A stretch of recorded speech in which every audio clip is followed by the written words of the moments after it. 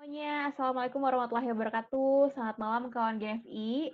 Um, semoga dalam keadaan sehat semuanya. Uh, selamat malam kawan-kawan GFI yang ada di YouTube, Facebook, dan Twitter. Nah, untuk um, kawan-kawan yang nggak bisa join atau masuk ke Google Meet, silakan arahkan teman-temannya uh, yang mau belajar juga mengenai uh, bisnis strategi malam ini ke YouTube, Twitter, atau Facebooknya GFI. Nanti di sana juga bisa bertanya. Nah, kalau uh, nanti sempat, insya Allah aku bacakan pertanyaannya yang di YouTube, Facebook, dan Twitter ya. Nah, uh, untuk kawan-kawan uh, malam ini yang di Google Meet, uh, kita hari ini merupakan kelas GNFI yang ke-15 nih. Udah banyak kelas GNFI-nya, Alhamdulillah.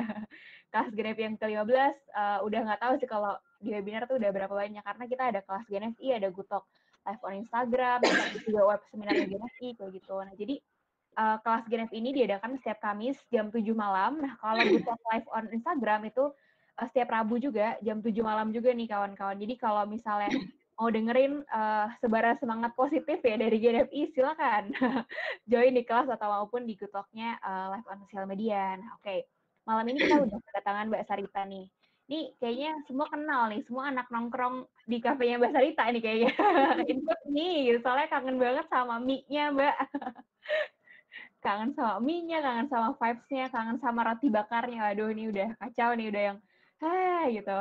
Rasanya beda tuh mbak kalau digojekin sama makan langsung di sana mbak. Yeah. kayaknya lebih enak makan langsung di sana mbak soalnya sambil ngobrol sambil dengerin musik gitu kali ya. Nah yeah. jadi kita malam ini udah kedatangan mbak Sarita Steja ya udah pada tahu nih ini foundernya Abnormal sama Bakso Bujangan dan sekarang juga menjadi co-foundernya dari Foodies. Nah uh, kali ini kita mau bahas bisnis strategi uh, gimana sih ini Mbak Sarita ngembangin bisnisnya gimana Mbak Sarita uh, ngebuat strategi buat uh, bisnis-bisnisnya. Nah, uh, kita sapa dulu. Halo Mbak Sarita. Halo, selamat malam semua teman-teman GNFI. Semoga tetap sehat dan semangat. Amin, amin, amin. Insya Allah uh, sehat-sehat dan tetap semangat kita semua yang di sini ya Mbak. Nah, ya. jadi uh, malam ini kan kita mau ngomongin bisnis strategi nih Mbak. Sebelumnya -hmm. mau nanya dulu nih Mbak gitu. Kenapa ya. sih Mbak akhir uh, akhirnya lagi awalnya mulai -hmm. untuk uh, mau uh, mulai bisnis sendiri nih Mbak atau mau kayak oke okay, kayaknya uh, jalan ninjaku di bisnis nih mbak kayak gitu. Sebenarnya sih kalau uh, apa ya mungkin pertanyaannya lebih ke kenapa akhirnya uh, buka bisnis daripada kerja mungkin itu kali ya hmm. pertanyaannya ya. Ya sebenarnya sih uh, awal mulanya juga uh, pas mungkin baru lulus kuliah kali ya. Jadi sebelum kuliah itu saya sempat bikin uh, usaha juga sebenarnya sama teman-teman beberapa teman-teman saya. Hmm tapi begitu saya lulus kuliah juga sebenarnya sempat uh, kerja sebenarnya sempat kerja di bank sempat kerja juga apa uh, jadi PR-nya kafe itu juga sempat baru akhirnya uh, saya kerja apa ya uh, ikut bantuin uh, usaha yang dulu saya rintis sama teman-teman saya dulu bisnisnya itu consulting sebenarnya hmm. awalnya tapi itu udah lama banget ya itu tahun berapa ya 2000 enam dua ribu pokoknya sebelum 2010 lah pokoknya. Wow. lama banget emang. Dari gitu, nah. masih SD kayaknya nih mbak. Sama muda. Ya gitu tapi um, apa ya jadi awalnya itu um, waktu kita di bisnis um, apa bisnis consulting itu memang kita merasa uh, bahwa waktu apa ya itu kan dulu umurnya masih aduh jadi ketahuan umur. Nggak apa-apa lah ya disebutin kita maksudnya dulu kan uh, dulu tuh kan umur masih 20-an ya, maksudnya energi masih kencang lah gitu. Nah, um, waktu kita uh, wak, uh, dulu umurnya masih 20-an waktu bisnis consulting itu. Terus uh, waktu umur uh, waktu umur saya mulai masuk uh, kepala tiga waktu itu sih merasa bahwa gini sih uh, bisnis consulting itu kan menarik ya sebenarnya ya gitu buat teman-teman uh, yang pernah bisnis consulting pasti tahu lah gitu um, suka dukanya banyak juga bisa lah kapan di sharing tapi nggak nggak sekarang kayaknya. Gitu. Apa suka dukanya banyak banget uh, tapi waktu masuk uh, umur usia di kepala tiga itu akhirnya kita mereview ulang aku sih terutama sama beberapa teman aku sih kita nge-review ulang lah gitu. Maksudnya uh, bisnis consulting itu kan banyak plus minusnya. Kalau hmm. buat aku sih salah satu hal yang sangat memberatkan itu adalah dulu kan tahun 2000 berapa itu ya di bawah 2010 itu kan uh, klien itu mayoritas itu adanya di Jakarta sebenarnya karena perusahaan-perusahaan besar itu di Jakarta nah apa hmm, saya kan tinggalnya di Bandung ya gitu. Jadi teman-teman saya di Bandung bukan di Jakarta.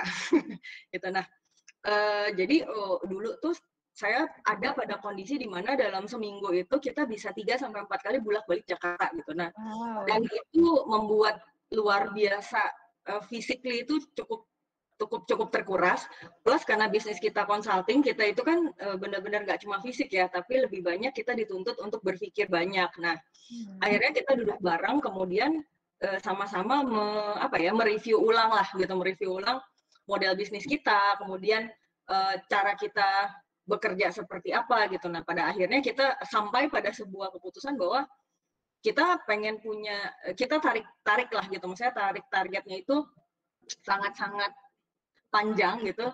Kita sama-sama nanya ke diri kita masing-masing. Nanti umur 40 kita mau punya duit berapa gitu lah gampangnya. Wow. gitu loh. Nah, akhirnya kita hitung-hitung dari pendapatan yang kita punya dan lain-lain ternyata pas ditarik ditarik gitu sampai 40 tuh nggak nyampe angkanya sebenarnya. Hmm. Nah akhirnya nah, akhirnya kita memutuskan untuk uh, apa yang bisa kita lakukan agar angka itu nyampe. Nah jadi waktu itu kita putar-putar lagi model bisnisnya ternyata angka itu tidak bisa dicapai dari bisnis consulting ternyata hmm. gitu. Jadi akhirnya kita memutuskan kita uh, kalau anak zaman sekarang bilangnya pivot, kalau dulu bilangnya banting setir. banting setir kalau anak sekarang zaman bilangnya pivot kan. Akhirnya kita pivot ke uh, industrinya itu kuliner. Di 2013 itu kan ada nasi goreng mafia ya, yeah, gitu nah. Ya, jadi sebenarnya kalau ditanya uh, kalau saya sih merasa bahwa entrepreneur itu memang entrepreneur waktu saya jadi entrepreneur itu dimulai dari sejak uh, bisnis consulting sebenarnya ya gitu. Hmm. Tapi to be honest gitu uh, satu hal yang lebih bisa dibagikan, di sharing gitu. Karena bisnis consulting yang dulu itu menurut saya juga um, bukan gak ideal, tapi lebih banyak errornya lah gitu. eh, tapi uh, gini, tapi bukan berarti uh, jelek ya, bukan gitu. Tapi saya merasa bahwa justru bisnis consulting ini yang sebenarnya men-shape kita pada akhirnya untuk uh, masuk ke industri kuliner ini lebih siap sebenarnya. Jadi nggak mulai dari nol banget gitu. Jadi pada saat kita 2013 kita start dengan nasi goreng rempah mafia waktu itu ya.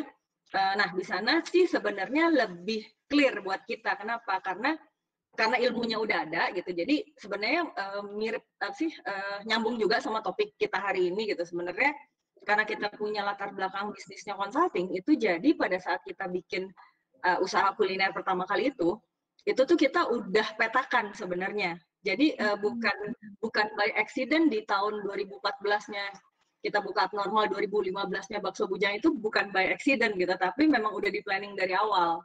Oh, okay. gitu. Jadi ya jadi sebenarnya uh, apa ya pola bisnisnya itu udah kita petakan itu dari awal sebenarnya. Jadi hmm. uh, ya abis itu kita eksekusi ya, tapi tentu saja bukan berarti tidak ada evaluasi ya gitu. Maksudnya eh, dari planning awal ada nggak sih yang eh, menyimpang? Pastinya ada gitu. Jadi nggak nggak nggak maksudnya apa ya? Yang udah kita planning di awal itu nggak berarti mulus terus maksudnya benar-benar benar-benar sesuai banget dengan prediksi ya enggak juga gitu banyak juga yang miring-miring gitu lah tapi kan maksudnya kalau kita bisnis, gimana caranya kita bikin um, si bisnisnya itu terus improve, terus improve kan gitu. Jadi uh, setelah kita apa ya, kalau kalau ngomong dari frameworknya inovasi itu kan biasanya kita uh, ideation, kemudian kita validation kan sebetulnya, kemudian kita coba uh, trial, tapi trialnya itu uh, dalam scope yang kecil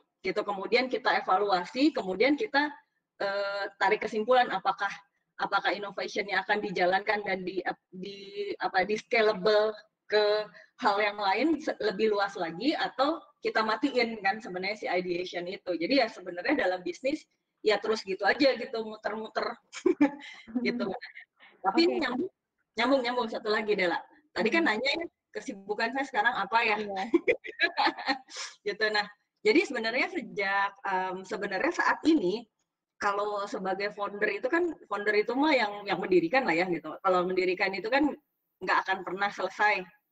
Intinya kalau ditanya masih founder ya masih gitu di uh, eh, CRP namanya kan Cita Rasa Prima Group masih gitu masih founder uh, di holdingnya abnormal sama bujangan masih founder dan masih shareholder sebetulnya gitu tapi uh, saya itu sekarang sudah tidak duduk lagi di manajemennya hmm. gitu makanya ya jadi sebenarnya kalau ditanya uh, saya kalau misalnya diundang gitu misalnya untuk sharing saya bilang kalau misalnya uh, sebagai jubirnya Aca, kayak dokter Risa gue baru dapet kemarin ya mbak dokter Risa kalau sebagai jubirnya CRP abnormal bujangan, uh, saya nggak bisa. Saya bilang kenapa? Karena saya udah nggak di manajemen gitu. Tapi hmm. saat ini memang saya itu uh, lagi currently aktif lah gitu as PR manajernya Foodies. Nah, Foodies itu apa? Foodies itu sebenarnya bisa dibilang uh, platform platform edukasi bisnis F&B pertama di Indonesia gitu. Hmm. Sebenarnya Foodies ini udah kita diriin dari 2017 berdiri 2017. Tapi saat itu kan 2017 saya masih aktif di manajemennya CRP, which is uh, harus komitmen lah ya gitu maksudnya. Jadi dulu uh, dari 2017 sampai 2019 kemarin itu saya aktifnya hanya sebagai kontributornya aja. Hmm. Jadi sebenarnya kenapa kita diriin foodies karena kita pengen uh, ngasih ilmu-ilmu lah gitu. Maksudnya kita berbagi lah gitu. Maksudnya sharing-sharing uh, untuk semua pebisnis kuliner yang ada di Indonesia, baik yang udah currently aktif, yang udah punya bisnis maupun yang baru mau ikutan bisnis gitu. Jadi apa ya kalau sekarang uh, memang saya aktif di manajemennya foodies gitu. Jadi ya banyaklah kesibukannya mah. Sibuk lah pokoknya hampir tiap hari iya. ada ngisi kelas deh kayaknya Mbak Sarita aku liatin.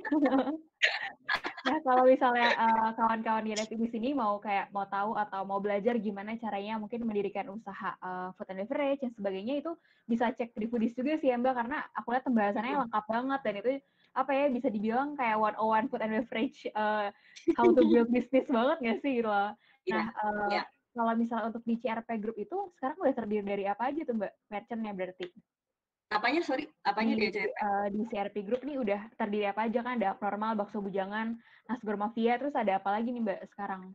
Uh, kalau di CRP sendiri saat ini memang mereka memutuskan untuk fokus di dua brand saja. Hmm. yang adalah uh, abnormal sama bakso bujangan saja. Jadi uh, secara manajemen itu sebenarnya nasi goreng rempah mafia itu udah tidak di under CRP lagi. Oh, oke. Okay. Gitu. Jadi di apa ya, secara manajemen dipisah, tapi ya secara brand masih eksis gitu maksudnya hmm. uh, mereka nggak nggak close store ya gitu jadi brandnya masih ada dan tetap masih ada apa ya masih ada sales juga gitu jadi masih berjalan sih nasi goreng rempah mafia oke okay. iya benar soalnya uh, store-nya juga aku lihat masih ada sih mbak terakhir aku makan ya. di tebet tuh mbak terus kayak udah kangen gitu nih mbak ya mau ke abnormal lagi mau ke bujangan lagi gitu soalnya di Tebet tuh emang ada sih mbak abnormal bujangan sama Nasgor Mafia kan kayak deket-deketan yeah. lokasinya tuh iya nah, ada emang Oke, okay, kawan-kawan. Nah, ini uh, tadi Mbak Sarita udah intro dan intro ini kayak wah udah menarik nih gitu. Nah, aku bakal langsung uh, ini nih nunjukin saya Mbak, Mbak Sarita. Aku uh, izin mematikan kamera ya, Mbak. Monggo, monggo, silakan.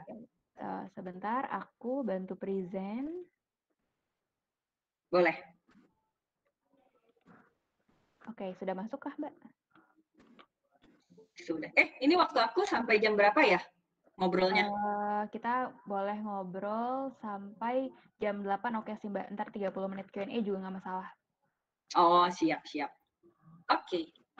Nah, mungkin uh, bahasan malam ini sih sebenarnya jangan terlalu serius-serius amat, walaupun ini uh, pas diminta sharing tentang apa namanya bisnis uh, improve bisnis itu kan emang harus serius ya.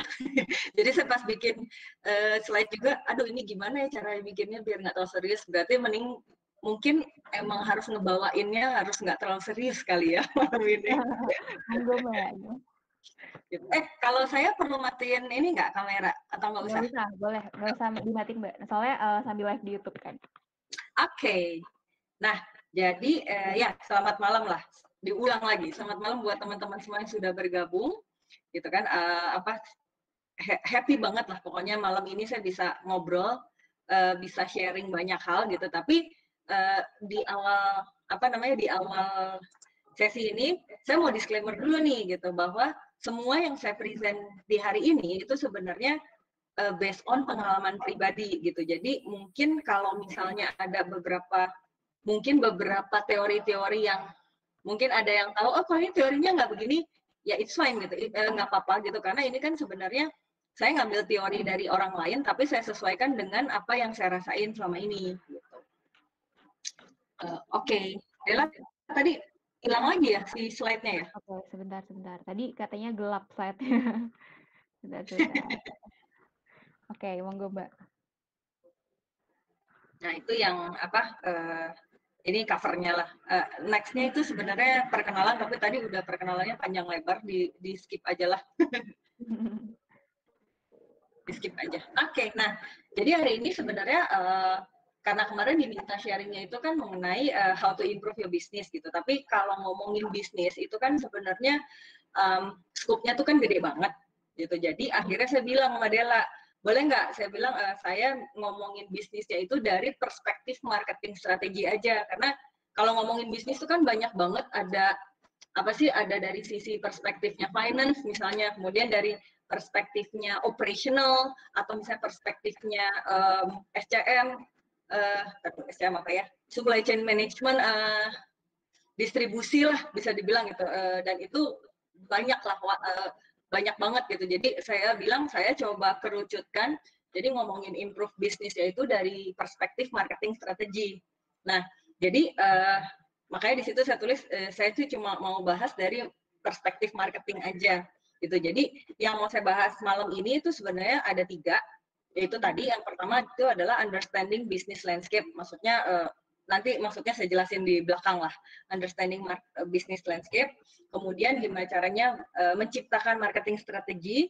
Kemudian uh, gimana caranya membuat uh, marketing program dan eksekusi. Jadi intinya sih sebetulnya lebih ke apa ya kalau understanding understanding business landscape itu kan sebetulnya um, arahnya itu lebih ke gimana kita memetakan dulu nih sebenarnya bisnis kita itu uh, secara elemen-elemennya itu ada di mana. Jadi kalau di situ saya nanti akan menggunakan pendekatannya itu 4C.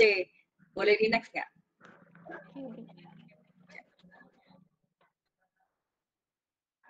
Nah, kan jadi uh, apa? Eh sorry sorry sebelum masuk ke understanding uh, business landscape, sebelum kita bikin semua, itu kita harus uh, fokus dulu ke objektif dari marketing itu sendiri ya gitu. Maksudnya uh, sebelum kita bikin planning sebelum kita bikin kita petain semua kita harus tahu dulu kita mau punya tujuan ke depannya itu apa dulu gitu. Jadi makanya kenapa di sini sebelumnya saya ini sebenarnya satu slide yang nyelip sebenarnya saya selipin. Karena sebelum kita ngomongin banyak hal intinya kan kita mau ngapain juga itu harus ada tujuannya. Jadi apa ya uh, tujuan ini kan sebenarnya akan mendirect kita untuk ke titik yang mana. Gitu. Jadi misalnya kalau apa ya uh, kita ini mau keluar rumah misalnya gitu kan. Mau keluar rumah kita mau ke mana dulu gitu kan. Nggak nggak yang misalnya dah saya mau mau keluar rumah aja lu mau ke mana? Lihat nanti aja lah jalan gue ke mana kan nggak gitu. Kalau mis jadi uh, kita harus tentuin dulu. Misalnya uh, pagi ini keluar saya mau ke kantor misalnya gitu ya. Kantornya itu ada di jalan XX misalnya. Nah Baru kita petain kan untuk nyampe ke kantor itu kita mau naik apa, jalan kaki kah, naik kendaraan umum kah, naik mobil kah, naik sepeda atau naik apa. Kemudian baru kita cari kan eh, setelah udah ada toolsnya, kemudian kita cari jalannya gitu jalannya. Jadi eh, kita cari eh, apa ya namanya perspektifnya itu akhirnya kita cari kendaraannya, kemudian kita cari jalannya ke mana. Tapi intinya kita harus ada tujuannya dulu. Saya mau ke kantor.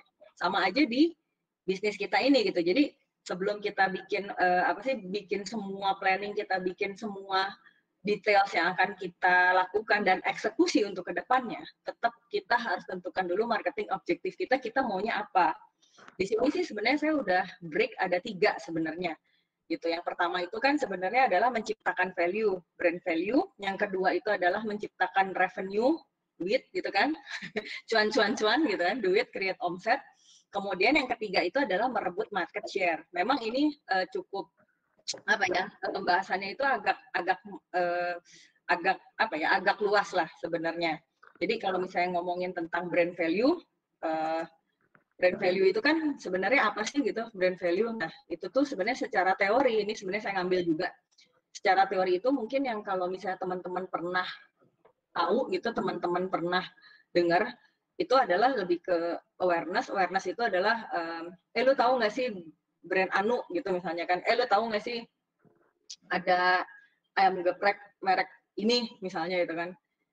Terus kemudian ada juga perceived quality. Perceived quality itu kalau saya sebut uh, kalau saya sebut misalnya uh, abnormal apa yang ada di pikiran kalian kan gitu? Apakah dia Indomie? Apakah dia tempat nongkrong? Apakah dia kopi? Itu kan sebenarnya uh, perceived quality yang didapat sama kalian Kemudian ada juga brand association, sama aja sih mirip-mirip. Kemudian ada brand loyalty. Brand loyalty itu adalah, wah pokoknya gue mah kalau misalnya nongkrong maunya normal, nggak mau yang lain, misalnya kayak gitu. Nah, tapi kan semua hal itu uh, harus ditentuin dulu. Kita mau objektifnya apa? Kalau membentuk itu semua, berarti mungkin uh, yang si tujuan lainnya, let's say misalnya cuannya yang uh, generate omsetnya itu menjadi prioritas kedua, bukan berarti nggak ada ya.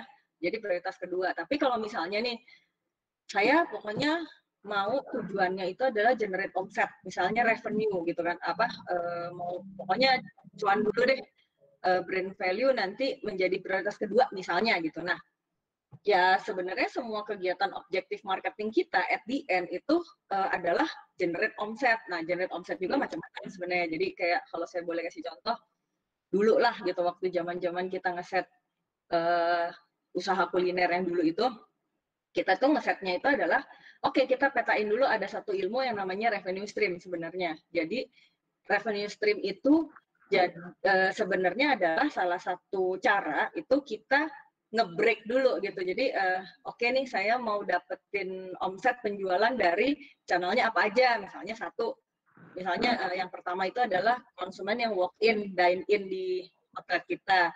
Kemudian misalnya yang kedua, oh saya mau jual uh, kalau sekarang nih ya kayak lagi pandemik ini kan sebenarnya lagi tren banget tuh saya mau jual frozen food misalnya. Oke, okay, berarti yang kedua adalah frozen food. Kemudian yang ketiga misalnya saya jual kemitraan franchise. Franchise itu kan juga bisa di break lagi ya antara misalnya ada uh, franchise fee misalnya franchise fee yang dibayar misalnya di awal. Kemudian ada juga kita uh, ada ada Eh, penjualan bahan baku misalnya, kemudian biasanya ada omset sharing. Nah, itu kan sebenarnya adalah cara kita di apa ya? dipecahin dulu gitu. Jadi angka revenue-nya maunya sekian misalnya dalam waktu satu tahun, kemudian di break lah gitu, di break lah dalam dalam apa ya namanya dalam uh, yang lebih kecil-kecil lagi per bulan, per minggu bahkan gitu kadang-kadang ya. Tapi kita juga harus petain dulu di awal gitu bahwa mau apa mau dari mana aja si apa eh, model bisnisnya. Kalau sekarang bisa jadi kayak gini. Jadi beberapa orang juga bahkan uh, di beberapa teman saya sih ada itu di masa-masa pandemik ini bahkan uh, kita itu sebenarnya sempat bikin satu um, program reseller namanya Boss Box. Nah, tadi sebenarnya tadi si Dela juga sempat nanya kan tentang mafia ya gitu. Jadi sebenarnya kemarin during pandemic ini of course orang nggak ada yang makan ke outlet ya sebenarnya karena kan bisnis bisnis mafia itu kan sebagian besar itu adalah ya selain takeaway itu banyak yang makan di tempat. Tapi kan sebetulnya kemarin pandemik semua outlet harus tutup karena psbb ya. Jadi uh, sama di Bandung juga seperti itu gitu. Nah akhirnya jadi kita secara manajemen kita mikirnya gini kan waktu kemarin pandemik uh, akhirnya kita berpikir apa yang gue bisa jual gue jual gitu kan. Tapi nggak mungkin juga kan kita jual apa nggak mungkin juga kita jadi jadi jualan produk masker sama sanitizer kan enggak ya terlalu jauh gitu dari si jadi enggak enggak dijadiin jualan utama. Nah, kita membentuk satu apa ya yang yang bisnis kuliner ya. Kita membentuk satu model bisnis baru sebenarnya adalah uh, reseller dan dropshipper. Nah, to be honest si reseller dan dropshipper ini cukup cukup membantu lah dalam uh, ngebantuin kita untuk nambelin omset yang Eh, kemarin-kemarin hilang itu gitu walaupun mungkin ya kalau dibilang um, menjadi satu tetap untung atau enggak ya plus minus lah gitu. Jadi karena kan kemarin kita tujuannya itu kan sebenarnya survival mode ya. Jadi bukan me, apa ya maksudnya mau menghasilkan cuan sebanyak banyaknya kan enggak gitu. Tapi kemarin kita berusaha untuk gimana caranya agar omsetnya masuk dulu. Nah kemarin itu salah satunya sih yang kita lakukan itu sebenarnya omsetnya. Kalau di foodie sendiri kemarin bahkan yang kita lakukan itu adalah uh, kita mindahin kelas yang dari offline ke online gitu. Bahkan si pesertanya itu naiknya uh, bingung saya bukan 100% apa ya. cukup banyak lah. Jadi dari kalau yang biasanya kelas offline-nya itu yang berbayar tapi ini ya.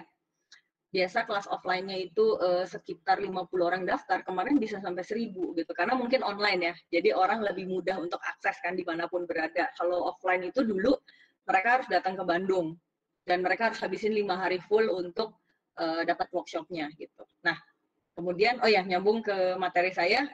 Nah, yang ketiga itu adalah uh, objektifnya itu adalah mengambil mengambil atau mempertahankan market share yang ada.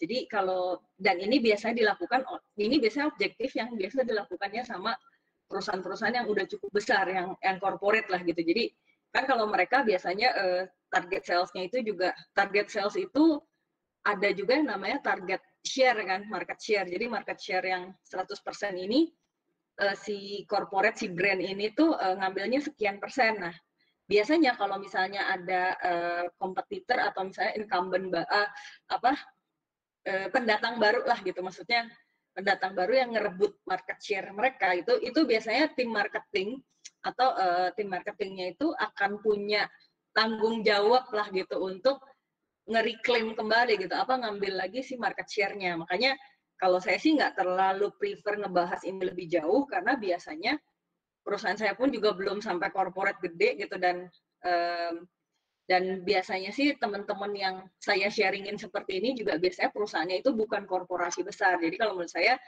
tentukan dulu apakah di brand value atau di revenue gitu. Jadi dua itu dulu aja soal market share nantilah kalau perusahaannya udah mungkin uh, menasional besar ada di semua seluruh Indonesia baru kita pikirin market share. Selama ini sih saya belum terlalu sering membahas market share karena ya memang mungkin saya juga belum sampai di titik itu ya gitu. Boleh di next ya? Nah ini sebenarnya adalah contoh uh, awareness sih sebenarnya. Jadi teman-teman bisa dipikir lah gitu. Misalnya kalau kalau uh, kalau misalnya kita ngomong ayam geprek, mikirnya brandnya apa? Jangan-jangan yang kemarin baru ini ya, baru heboh-heboh apa hakinya lagi ditolak MA. itu kan juga salah satu brand yang cukup terkenal lah gitu kan. Tapi ya itu tadi gitu kan apa adalah brand. Kemudian kalau nyebut nasi goreng langsung top of mind-nya apa? Kalau nyebutin es kopi susu mikirnya apa? Nyebutin bakso mikirnya apa? Itu kan sebenarnya adalah uh, salah satu contoh uh, kita itu aware-nya itu sebenarnya apa gitu atau kalau saya nyebutnya martabak teman-teman langsung mikirnya brand apa itu kan sebenarnya adalah benar-benar adalah ini uh, apa uh, awareness-nya itu sampai mana. Kemudian kalau saya sebut misalkan kayak brand salah satu brand uh, bakso bujangan misalnya, kepikirnya itu apa? Itulah perceived quality yang di di apa ya yang ada di otak kalian masing-masing. Boleh di next nggak?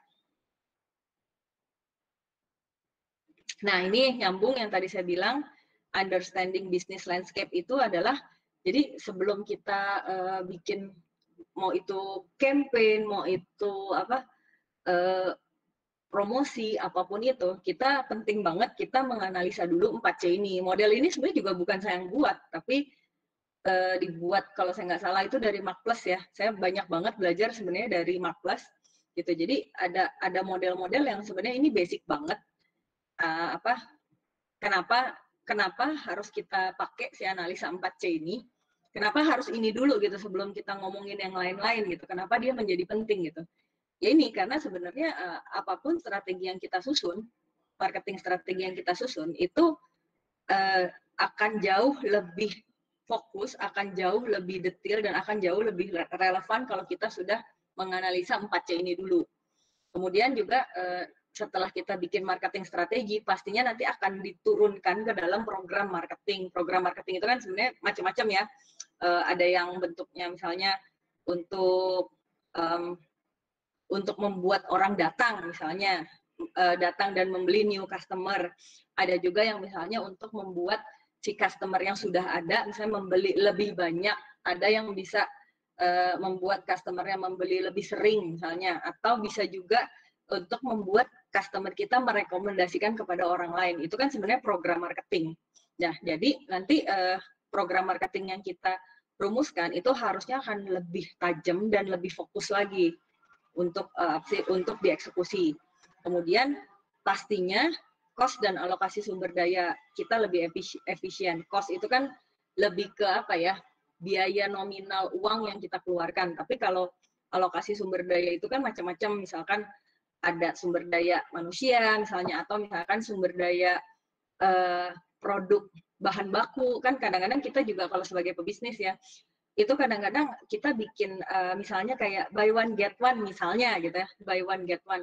Itu somehow kadang-kadang yang kita bukukan di dalam di dalam perusahaan kita itu kan sebenarnya bukan harga jual tapi adalah harga HPP artinya sebenarnya kan bahan baku itu bisa kita alokasikan biar lebih efisien lagi apakah ini akan kita uh, intinya kalau kita bikin program promosi program marketing itu kan pasti ada cost-nya ya cost biayanya nah sumber daya inilah yang sebenarnya akan bisa kita maksimalkan banget gitu. Jadi jangan sampai saya udah bikin program promosi tapi sebenarnya target market saya nggak aware kan itu jadi sia-sia ya gitu. Jadi sia-sia nggak mau kayak gitu gitu. Jadi ya seperti itulah. Mungkin kalau boleh cerita contohnya itu adalah ya seperti ini, seperti dulu waktu kita awal banget buka uh, brand nasi goreng rempah mafia dulu ya. Jadi dulu waktu saya bikin nasi gorengan Pak Mafiang 2013 itu um, kondisinya kan memang kita nggak punya budget nggak punya budget promo yang besar sebenarnya itu sih sebagai kendala utamanya jadi akhirnya uh, kita memutar otak luar biasa waktu itu ya gimana ya caranya agar awareness saya terbangun gitu kan awareness saya terbangun di kalangan minimal dulu oh, sorry nasi goreng rempah mafia itu outlet outletnya itu ada di Jalan di Patiukur 15 dulu yang dekat banget sama uh, kampus Unpad sebenarnya Universitas Pajajaran yang ekonomi yang di di Patiukur. Nah, jadi waktu itu kita berpikir keras gimana caranya agar si brand gue yang baru banget ini orang belum tahu nggak kenal sama sekali itu bisa di uh, bisa di apa ya diiklanin sama teman-teman uh, netizen yang dulu pengguna Twitter karena dulu 2013 yang paling booming itu paling hits itu uh, Twitter ya.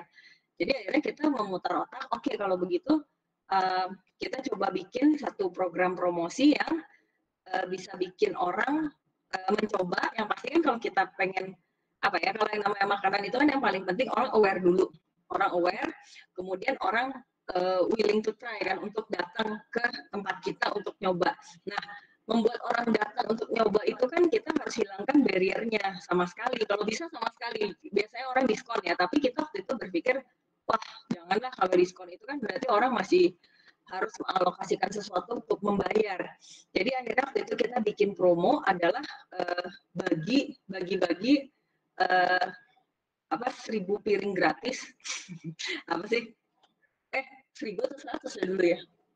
Seribu seribu seribu piring gratis uh, bayar pakai doa. Syaratnya itu adalah follow dan retweet. Waktu itu seperti itu. Nah, um, to honest dulu kita tahu uh, kita cuma nyentil aja sebenarnya uh, kebutuhan dasarnya manusia gitu. Jadi uh, orang itu kan sebenarnya kalau misalnya dikasih makanan dikasih makanan tapi lu harus bayar walaupun RP 100 pun misalnya gitu. Tapi kan itu tetap amount of money yang harus dibayar ya gitu. Uh, kalau kita uh, secara psikologis harus membayar sesuatu itu kita tetap punya ekspektasi biasanya. Jadi walaupun murah tapi uh, pasti saya punya ekspektasi nih, wah ini enaknya seginilah gitu atau servisnya harus segini. Tapi ketika saya bilang uh, nggak usah bayar, bayarnya pakai doa aja gitu kan, bayarnya nggak pakai uang rupiah, bayarnya pakai doa.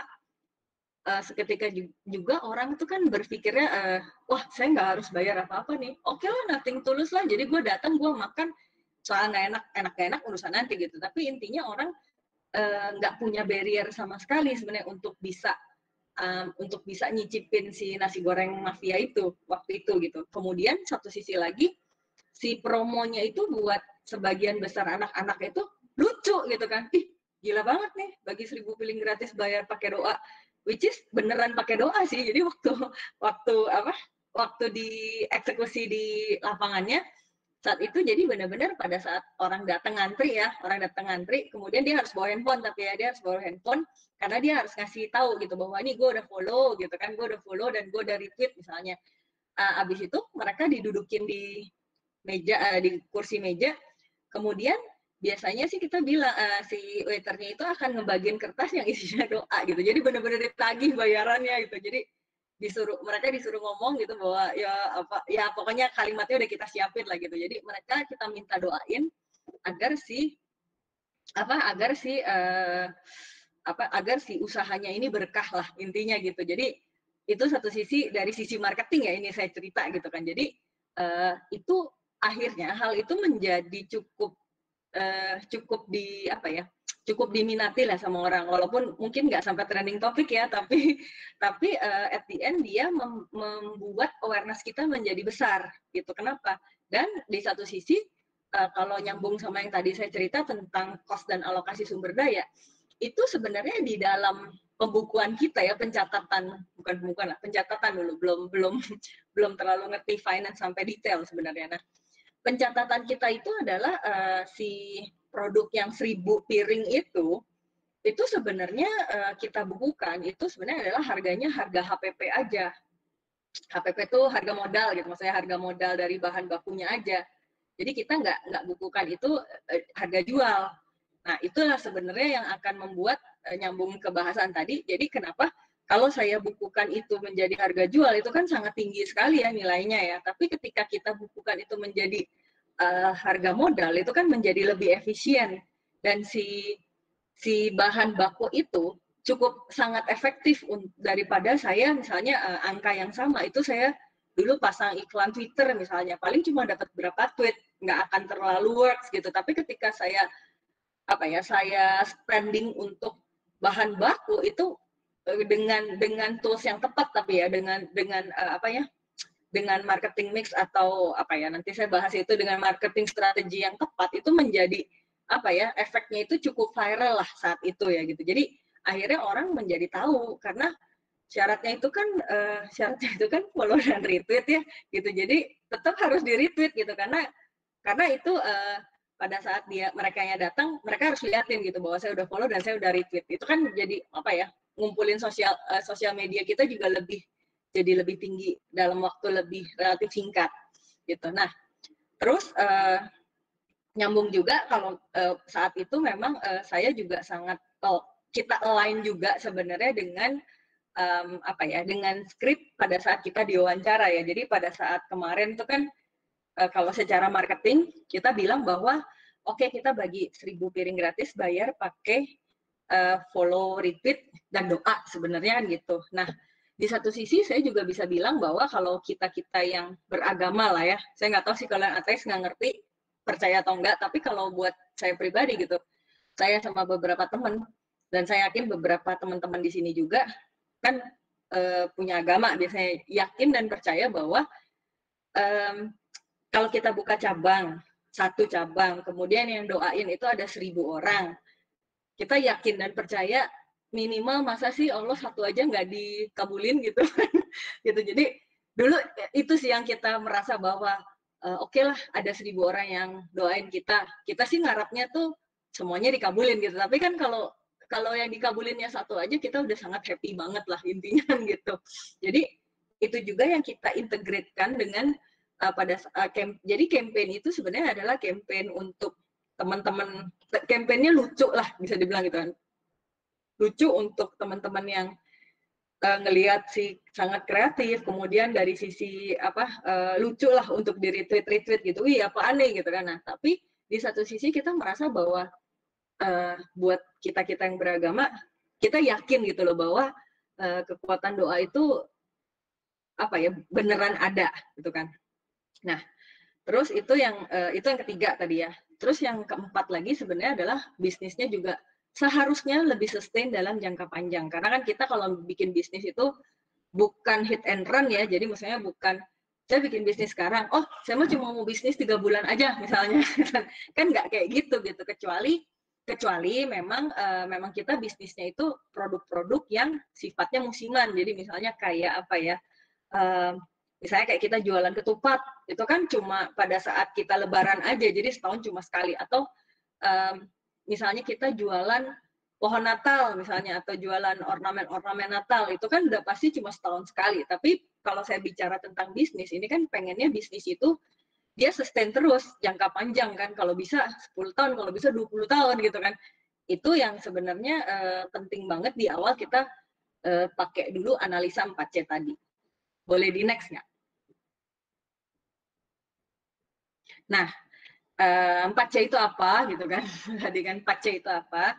Jadi ini sebenarnya adalah analisa analisa basic banget sebenarnya C itu sebenarnya adalah change, competitor, customer dan company. Nah, kenapa ini saya mulainya justru dari change dulu dari yang menurut saya itu change ini adalah satu elemen yang justru paling besar, paling paling luar lah gitu. Jadi change itu meliputi apa aja? Meliputi apa aja itu ada teknologi, situasi ekonomi, sosial budaya dan ekonomi. Contohnya gampang banget gitu. Maksudnya kayak kayak misalnya uh, change itu kan sebenarnya perubahan ya, maksudnya benar-benar um, lingkungan yang paling makro banget dari bisnis yang kita mau lakukan gitu adalah misalnya kayak teknologi aja. Mungkin uh, teman-teman di sini saya yakin banget, yakin 100% pasti di handphonenya nggak ada yang nggak punya GoPay atau Grab kan sebenarnya. Uh, sorry Gojek atau Grab. Pasti di handphonenya minimal gitu punya salah satu either itu GoPay atau OVO atau Dana atau Shopee Pay gitu atau link aja yakin. Pasti nggak ada yang nggak punya gitu. Nah ini kan sebenarnya adalah teknologi yang um, bisa dibilang mungkin 5-10 tahun yang lalu nggak ada tapi bisa kita lihat sekarang semua orang pasti punya saat ini ya gitu. Nah, berarti kan sebetulnya uh, perubahan orang dari nggak punya e-wallet lah, eh apa ya namanya, e-money kali itu namanya. Jadi apa sih uh, uang yang kita simpan di handphone kita nih, gitu kan? Dulu itu kan uh, kalau kita mau belanja apa-apa, itu kita harus bawa dompet ya, bawa duit apa uang kertas itu atau minimal kita bawa kartu ATM atau kredit card kan gitu ya. Gitu. Nah tapi kalau sekarang kan eh, apalagi sekarang kita udah sering banget lah denger oh gue maunya cashless gue maunya cashless gitu. Nah itu kan sebetulnya adalah bukti di mana teknologi itu benar-benar merubah sekali uh, apa kehidupan kita. Nah atau misalnya kayak apa ya teknologi yang lebih gampang lagi bukan cuma e-walletnya gitu tapi misalnya uh, yang ada impactnya ke bisnis kuliner misalnya. Uh, misalnya uh, sekarang sebagian besar dari kita itu kan apalagi lagi pandemik gini ya, itu kan banyak kan cashlessnya juga pasti pakai uang digital di handphonenya masing-masing.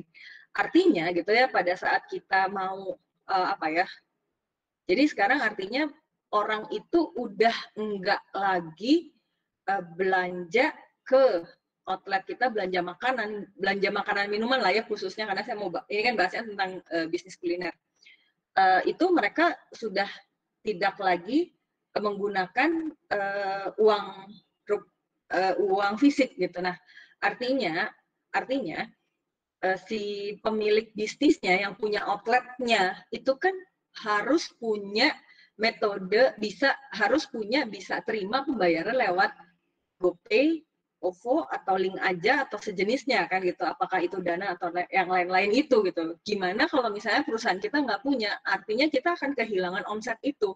Nah, jadi sebenarnya perubahan-perubahan ini yang sebenarnya harus diantisipasi banget sama pebisnis-pebisnis yang ada sekarang. Atau misalnya kayak eh, yang kedua aja misalnya contoh change-nya itu adalah situasi ekonomi. Eh, saya nggak tahu sih udah pada lahir belum ya apa udah pada inget belum waktu dulu uh, krisis ekonomi? Apa yang nggak usah jauh-jauh lah. Krisis ekonomi uh, sekarang kan bukan krisis ekonomi sih ya tapi pandemik ini kan bisa dibilang uh, merubah juga uh, membuat sebagian besar dari kita kehilangan pekerjaan misalnya kehilangan sumber pendapatan. Artinya secara ekonomi juga kita menurun daya beli kita gitu. Nah ini kan juga mau tidak mau membuat orang itu lebih apa ya uh, mungkin kalau dulu kita uh, tiap hari misalnya ya tiap hari saya um, makan misalnya di luar uh, beli beli meals kita beli makan itu adalah makan siang uh, makan pagi eh, sorry makan pagi misalnya saya belanja kopi sama croissant cie kayak kan gue di cafe gitu kan. Uh, kopi sama croissant pagi misalnya. Kemudian siang uh, misalnya saya beli uh, nasi padang di dekat di dekat kantor. Kemudian malam nanti saya beli lagi pizza misalnya gitu. Itu kan sebenarnya adalah tiga pengeluaran yang cukup besar ya kalau dikaliin dikali 30 itu luar biasa besarnya. Nah, setelah situasi ekonomi saya krisis misalkan uh, karena karena pendapatan saya berkurang setengahnya atau bahkan lebih buruknya lagi saya cuma dapat seperempat gaji dan it, it happens loh ya gitu. Maksudnya it happens di uh, beberapa kita itu it happens terjadi juga gitu kan saya kehilangan. Nah mau nggak mau uh, kebiasaan saya punya menyantap tiga ini itu kan harus dikurangi. Jadi kalau bisa cuma satu aja. Atau atau kalau bisa malah uh, kita masak aja lah di rumah gitu. Jadi yang di stok itu adalah beras misalnya. Kemudian um, pokoknya bahan-bahan pokok yang bisa kita olah sendiri di rumah. Artinya artinya ini kan sebenarnya adalah situasi ekonomi yang membuat pendapatan uh, penjualan di outlet saya itu memang pasti berkurang. Nah, artinya adalah eh, kita bisa lihatlah beberapa brand-brand besar itu juga kemarin saya lihat eh, mulai membuat produk yang sifatnya frozen food yang bisa di apa ya kalau zaman sekarang bilangnya di DIY kayak do it yourself gitu. Jadi beberapa brand-brand besar bahkan membuat do it yourself gitu. Jadi yang di di packing itu adalah bahan bakunya dijual dengan harga tentunya lebih rendah dibanding kalau kita uh, apa dine in di outlet ya gitu. Nah, itu kan sebenarnya adalah uh, reaksi dari uh, reaksi dari kondisi ekonomi yang seperti sekarang. Atau ya macam-macam lah kalau change itu kan macam-macamnya. Atau misalnya nih suatu saat nanti tiba-tiba kita tidak boleh menggunakan bahan baku ayam misalnya. Which is itu agak aneh sih ya. Misalnya nggak boleh artinya kan kita sebagai pebisnis harus mengganti kan. Oke kalau gua biasa jual ayam geprek gua akan jual apa misalnya untuk ngegantiin produk gue agar gue nggak kehilangan konsumen gue gitu. Nah, kemudian uh, analis uh, C yang kedua itu adalah kompetitor. Kenapa ini menjadi penting gitu? Karena waktu kita mau pada saat kita uh, nyemplung lah gitu di kolam ini gitu kan kompetitor ini juga harus banget dianalisa mana yang kompetitor langsung direct tadi itu saya bilang kan itu ada direct, ada indirect, ada potensial atau substitute. Direct itu adalah kompetisi uh, yang head to head banget lah gitu. Ibaratnya kalau saya jualan ayam ya kompetitor saya sesama penjual ayam gitu kan. Terus kalau saya jualnya misalnya steak gitu kan, ya kompetitor saya tukang steak lain. Seperti itu, sesimpel itulah. Kalau indirect itu adalah kompetitor yang sebenarnya uh, nggak belum tentu sama-sama jualan ayam gitu, tapi dia itu adalah kompetitor saya dalam memperebutkan uh, wallet share. Jadi uh, misalnya ginilah, ada orang nih dia di dompetnya cuma punya uang misalnya 30 ribu. Cuma 30 ribu ini mau dia pakai untuk nongkrong. Nah arti akhirnya nongkrong dan makan misalnya. Tapi kan dia harus milih kan gue mau nongkrong di brand A yang punya eh, yang menunya steak sama steak ada steak jeruk sama apa misalnya gitu kan. Kemudian eh, atau saya mau makan eh, di tempat yang itu yang menunya itu adalah pizza sama kopi misalnya. Kan sebenarnya jadi yang yang bersaing itu adalah tukang steak sama tukang pizza kan sebenarnya gitu. Tapi mereka indirect karena mereka rebutan konsumen sebenarnya itu nah itu yang harus kita analisa juga pada saat analisa 4C ini. Kita harus benar-benar di list aja semua. Nah kemudian yang terakhir yang ketiga itu adalah potensial atau substitute. Sekarang sekarang dia sih belum jadi kompetitor saya gitu. Tapi di masa depan di di masa yang akan datang bisa jadi dia jadi kompetitor saya gitu. Contohnya misalnya uh, saya kan sekarang lagi jualan apa ya bisa dibilang saya misalnya jualan ayam geprek dalam kondisi kayak sekarang nih ya. Saya jualan ayam geprek nih. Nah, nah tiba-tiba kemarin COVID datang ya. COVID datang kemudian semua orang uh, si apa sih brand-brand lain-lain yang dulunya jualannya misalnya mie goreng, terus jualannya uh, bubur misalnya gitu ya. Tiba-tiba si orang-orang itu jadi men, jadi mendadak jualan ayam frozen. Artinya mereka itu kan sekarang jadi kompetitor saya juga gitu. Sedangkan kalau saya sebagai ayam geprek, saya juga ngeluarin ayam frozen. Akhirnya kan kita semua jadi bersaingnya di kolam yang sama gitu. Nah, itu adalah yang potensial yang kemungkinan bisa gantiin kita. Atau kalau misalnya pakai contoh yang lebih luas lagi gitu ya. Bisa dibilang kan kayak eh, apa kayak perusahaan-perusahaan transportasi lah. Misalnya kayak taksi.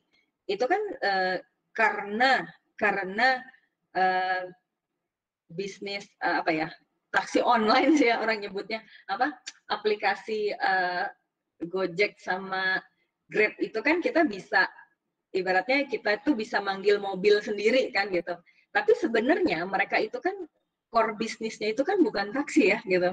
Core bisnisnya Gojek itu kan sebenarnya aplikasinya. Grab juga aplikasinya. Tapi uh, si aplikasi GoCar sama GrabCar ini at the end mensubstitute si uh, at the end menjadi kompetitornya perusahaan taksi gitu. Itu harus diakui gitu nah. Itulah yang namanya potensial atau substitute. Kemudian uh, di C yang ketiga ada customer.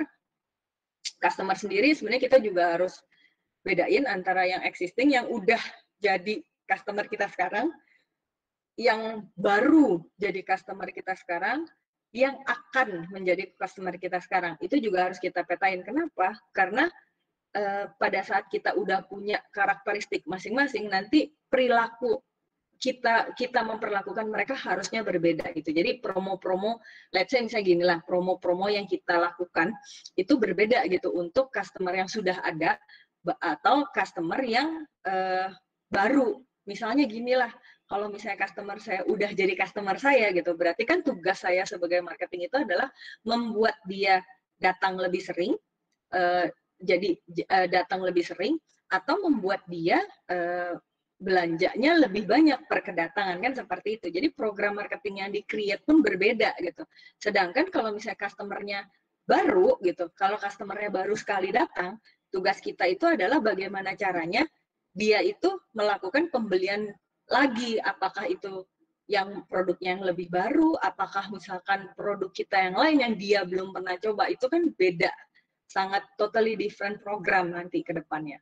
Kemudian terakhir itu adalah yang company company itu kita juga harus petakan aset kita itu ada yang tangible dan intangible. Tangible itu kayak uh, sesuatu yang kelihatan lah yang bisa dipegang, misalkan ada aset gedungnya atau misalkan mesinnya atau misalnya um, penggorengannya gitu kan, kompornya itu tangible aset. Tapi kalau intangible itu lebih ke uh, apa? Oh brandnya sudah dikenal. Saya jual jual nasi goreng dengan brand nasi goreng rempah mafia tentunya lebih gampang daripada saya jual nasi goreng Sarita misalnya. Siapa ya juga yang tahu gitu Sarita ini siapa gitu kan. Tapi itulah yang namanya intangible. Kemudian yang ketiga juga adalah organization capabilities. Artinya uh, sering banget kayaknya digaung-gaungkan bahwa uh, yang namanya karyawan itu kan aset gitu. Karyawan itu adalah aset which is true gitu. Jadi pada saat kita bikin bisnis itu kan sebenarnya akan jauh lebih mudah kalau si um, tim kita itu udah uh, udah punya udah jago di expertise-nya masing-masing daripada kita harus uh, merekrut orang baru dan harus kita uh, mendidik mereka untuk jadi bisa kita ajak kerja bareng gitu kan. Boleh di next nggak?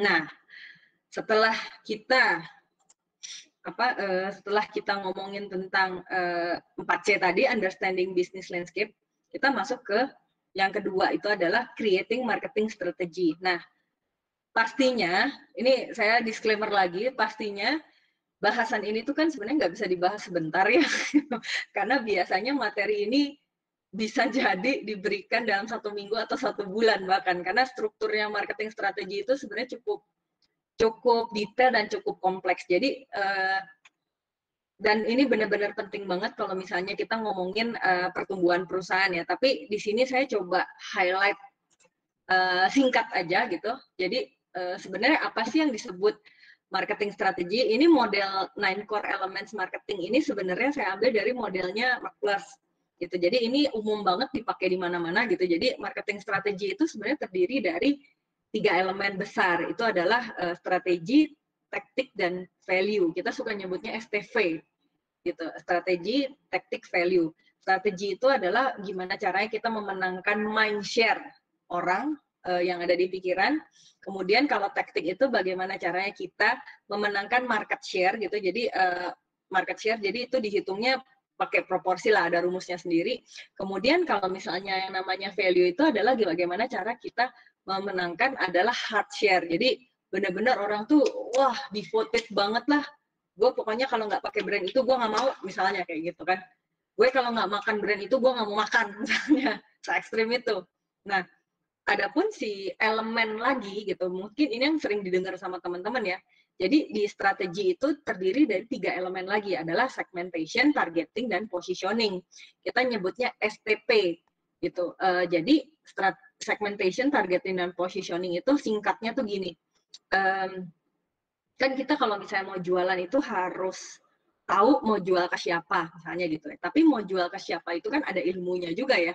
Gitu. Jadi uh, segmentation segmentasi lah bahasa Indonesia segmentasi itu kan sebenarnya adalah cara kita untuk um, yang pertama kita mengkotak-kotakkan orang dulu gitu agak jahat sih ya gitu agak jahat sih ya diskriminasi ini tapi itulah maksudnya kalau kita mau uh, bikin uh, sebuah strategi memang harus seperti itu. Kita kotak-kotakan dulu orang-orang tersebut gitu. Karena kita kan ketemu orang yang mau kita jualin banyak tapi nggak mungkin kita eh, bisa menjual satu produk untuk semua orang untuk semua kalangan itu nggak mungkin gitu. Jadi kita petain dulu si segmennya ini. Jadi uh, cara segmentasi juga sebenarnya masih agak banyak tapi yang paling umum banget digunakan itu sebenarnya ada tiga. Itu adalah secara demografis yang kedua secara geografis gitu yang ketiga itu adalah psikografis um, saya bahas singkat aja ya segmentasi ini. Jadi yang pertama itu adalah demografis. Demografis ini sebenarnya adalah sesuatu uh, demografis ini berdasarkan um, jenis kelamin, uh, usia. Jadi sesuatu yang sifatnya demografi gitu. Apa ya? Demo, ya itu demografi lah. Jadi misalkan uh, dari sisi uh, umur, gender, uh, tingkat pendapatan itu demografi. Kemudian kalau secara geografi geografik itu adalah secara wilayah gitu. Jadi kan seringnya orang ngomong uh, saya baru hadir di Jabodetabek, nah itu geografis sebenarnya gitu. Jadi saya kotak-kotakin dulu, oh saya mau jualan, bisa gini, saya mau jualan di area Jakarta aja misalnya, saya mau jualan di kota Cirebon aja misalnya, ada nggak nih dari Cirebon nggak tahu gue, gitu kan. Atau saya mau jualan untuk masyarakat Bekasi aja, nah itu geografis. Kemudian yang ketiga, eh, itu adalah psikografis. Psikografis itu adalah berdasarkan uh, habit atau perilaku orang. Ini yang biasa digunakan itu uh, kalau misalnya kita, misalnya gini lah, sering nggak sih dengar misalnya, uh, oh ini kalau misalnya uh, kita bikin kita jualan di pakai Google Ads atau misalnya Instagram Ads, itu biasanya berdasarkan algoritma. Algoritma itu sebenarnya adalah berdasarkan psikografis. Psikografis itu adalah kebiasaan kita, biasanya kita buka apa, misalkan. Itu sih kerasa banget kan, misalnya kalau teman-teman buka. Nah, kalau mau tahu nih misalnya nih ya, paling gampang nih kalau yang punya, aduh gue jahat deh ya. nggak, nggak, nggak, gini. Kalau kita mau tahu, kita ini seringnya buka apa sih sebenarnya kalau di sosial media? coba kalian ambil handphonenya, buka Instagram, kemudian klik kolom search. Nah, biasanya kan kalau kita klik kolom search, itu kan muncul uh, rekomendasi-rekomendasinya uh, Instagram. Nah, itulah psikografis kita. Apa yang sering kita lihat itu yang muncul pasti gitu. Jadi kalau misalnya apa ya, uh, kayak saya kan kadang-kadang seneng seneng lihat misalnya kafe-kafe kopi-kopi gitu. Nah, entar keluarnya kopi-kopi semua. Atau misalnya seneng lihat video kucing-kucing lucu misalnya kan sering ya kayak gitu ya. Nah, itu akan muncul juga sih kucing-kucing lucu itu di di tab search saya. Nah, itulah psikografis. Nah, kemudian kalau uh, setelah kita mengkotak-kotakkan orang tadi, setelah dikotak-kotakkan, itu uh, kita ke step kedua adalah targeting. Targeting itu sorry, setelah kita kotak-kotakan nanti kita akan detailkan juga uh, detail-detail perilaku mereka seperti apa itu harus ada juga ya. Setelah itu baru kita target targeting namanya juga targeting ya kita mentarget. Jadi dari kotak-kotak itu kita sebagai bisnis kita pilih saya mau yang ini ini ini saya ada tiga atau misalnya saya mau ini aja satu gitu. Itu namanya targeting. Kemudian yang ketiga itu adalah kan positioning. Positioning itu kan sebetulnya uh, kita ingin dikenal sebagai apa di target market itu. Itulah positioning gitu. Jadi uh, apa ya seperti itu. Nah kemudian si apa namanya uh, core elemen yang kedua itu kan sebenarnya adalah taktik win market share. Nah win market share ini maksudnya adalah uh, bagaimana cara kita itu mengeksekusi lah ibaratnya apa membuat si orang-orang yang tadi udah kita rencanakan untuk ditarget itu bisa kita garap lah intinya gitu jadi itu di sana ada marketing mix, ada differentiation, ada selling. Ini saya cepat aja udah jam 8. Kemudian di uh, yang ketiga itu adalah value uh, yang terdiri dari brand, service dan proses. Uh, di next lagi. Nah, baru yang nggak nggak terakhir juga sih sebenarnya tapi setelah dua step setelah 4C kita rumuskan, kemudian setelah uh, marketing strategi tadi uh, triangle apa segitiga STV tadi udah kita rumuskan juga. Nah, yang terakhir itu adalah kita uh, membuat marketing program dan execution. Jadi uh, setelah semuanya udah kita petakan, udah kita pilih juga, udah kita identifikasi, baru sekarang lah saatnya kita bikin program dan kita eksekusi. Nah, yang paling penting sebenarnya adalah uh, kita melakukan membuat planning ini itu berdasarkan apa yang sudah kita tadi rumuskan di awal ya gitu. Jadi kayak misalnya program uh, program itu adalah uh, apakah itu kita pakai promo, apakah itu pakai event, uh, activation ya gitu kan, atau pakai campaign itu balik lagi tergantung dari si target market kita gitu. Jadi um, kalau orang marketing sih ini agak theoretical ya sebenarnya. Kemarin sorry sebenarnya kemarin saya baru ngobrol sih sebenarnya sama Mas Suhe gitu. Jadi masih terngiang-ngiang apa kata dia gitu. Jadi kalau ngomongin program atau campaign itu kan macam-macam. Kita bisa pakai tools yang sifatnya uh, ads, iklan, bisa juga kita pakai yang sifatnya campaign, campaign di online, atau bisa juga kita bikin event yang offline. Itu macam-macam lah. Nanti eh, harus dibahasnya cukup dalam sih kalau seperti ini. Kemudian kalau kita udah punya program juga, jangan lupa kita harus punya, ini yang biasanya tidak dilakukan sama mayoritas pebisnis. Kita harus banget punya yang namanya marketing calendar. Uh, apa sih itu marketing calendar? Nah, jadi gini, uh, pada saat kita kalau kita mau bisnis itu uh, kan kita harus bikin planning ya gitu. Jadi marketing calendar itu adalah program marketing kita bulan uh, November Desember tahun lalu marketing calendar untuk tahun ini itu harus sudah selesai sampai Desember seharusnya seperti itu. Jadi kita bisa petakan gitu. Jadi Januari gue mau ngapain, Februari mau ngapain, uh, Maret mau ngapain itu seharusnya sudah ada. Jadi udah ada timelinenya juga.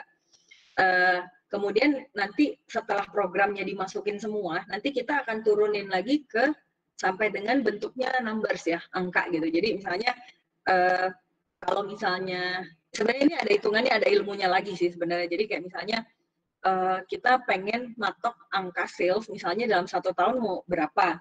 Kemudian nanti kita akan pecah-pecahkan ke dalam bentuk bulan. Nah, nanti setelah itu kita harus juga mempertimbangkan faktor-faktor yang sifatnya given misalnya uh, kita dalam satu tahun kan pasti ada uh, karena kita orang Indonesia ya gitu uh, pasti yang ada dua dua hal besar yang akan mempengaruhi sales kita. Yang pertama itu adalah pada saat Ramadan dan Lebaran. Kalau Ramadan itu kan otomatis orang tidak makan siang. Sebagian besar, nggak nggak bilang semua juga ya, sebagian besar orang tidak makan siang.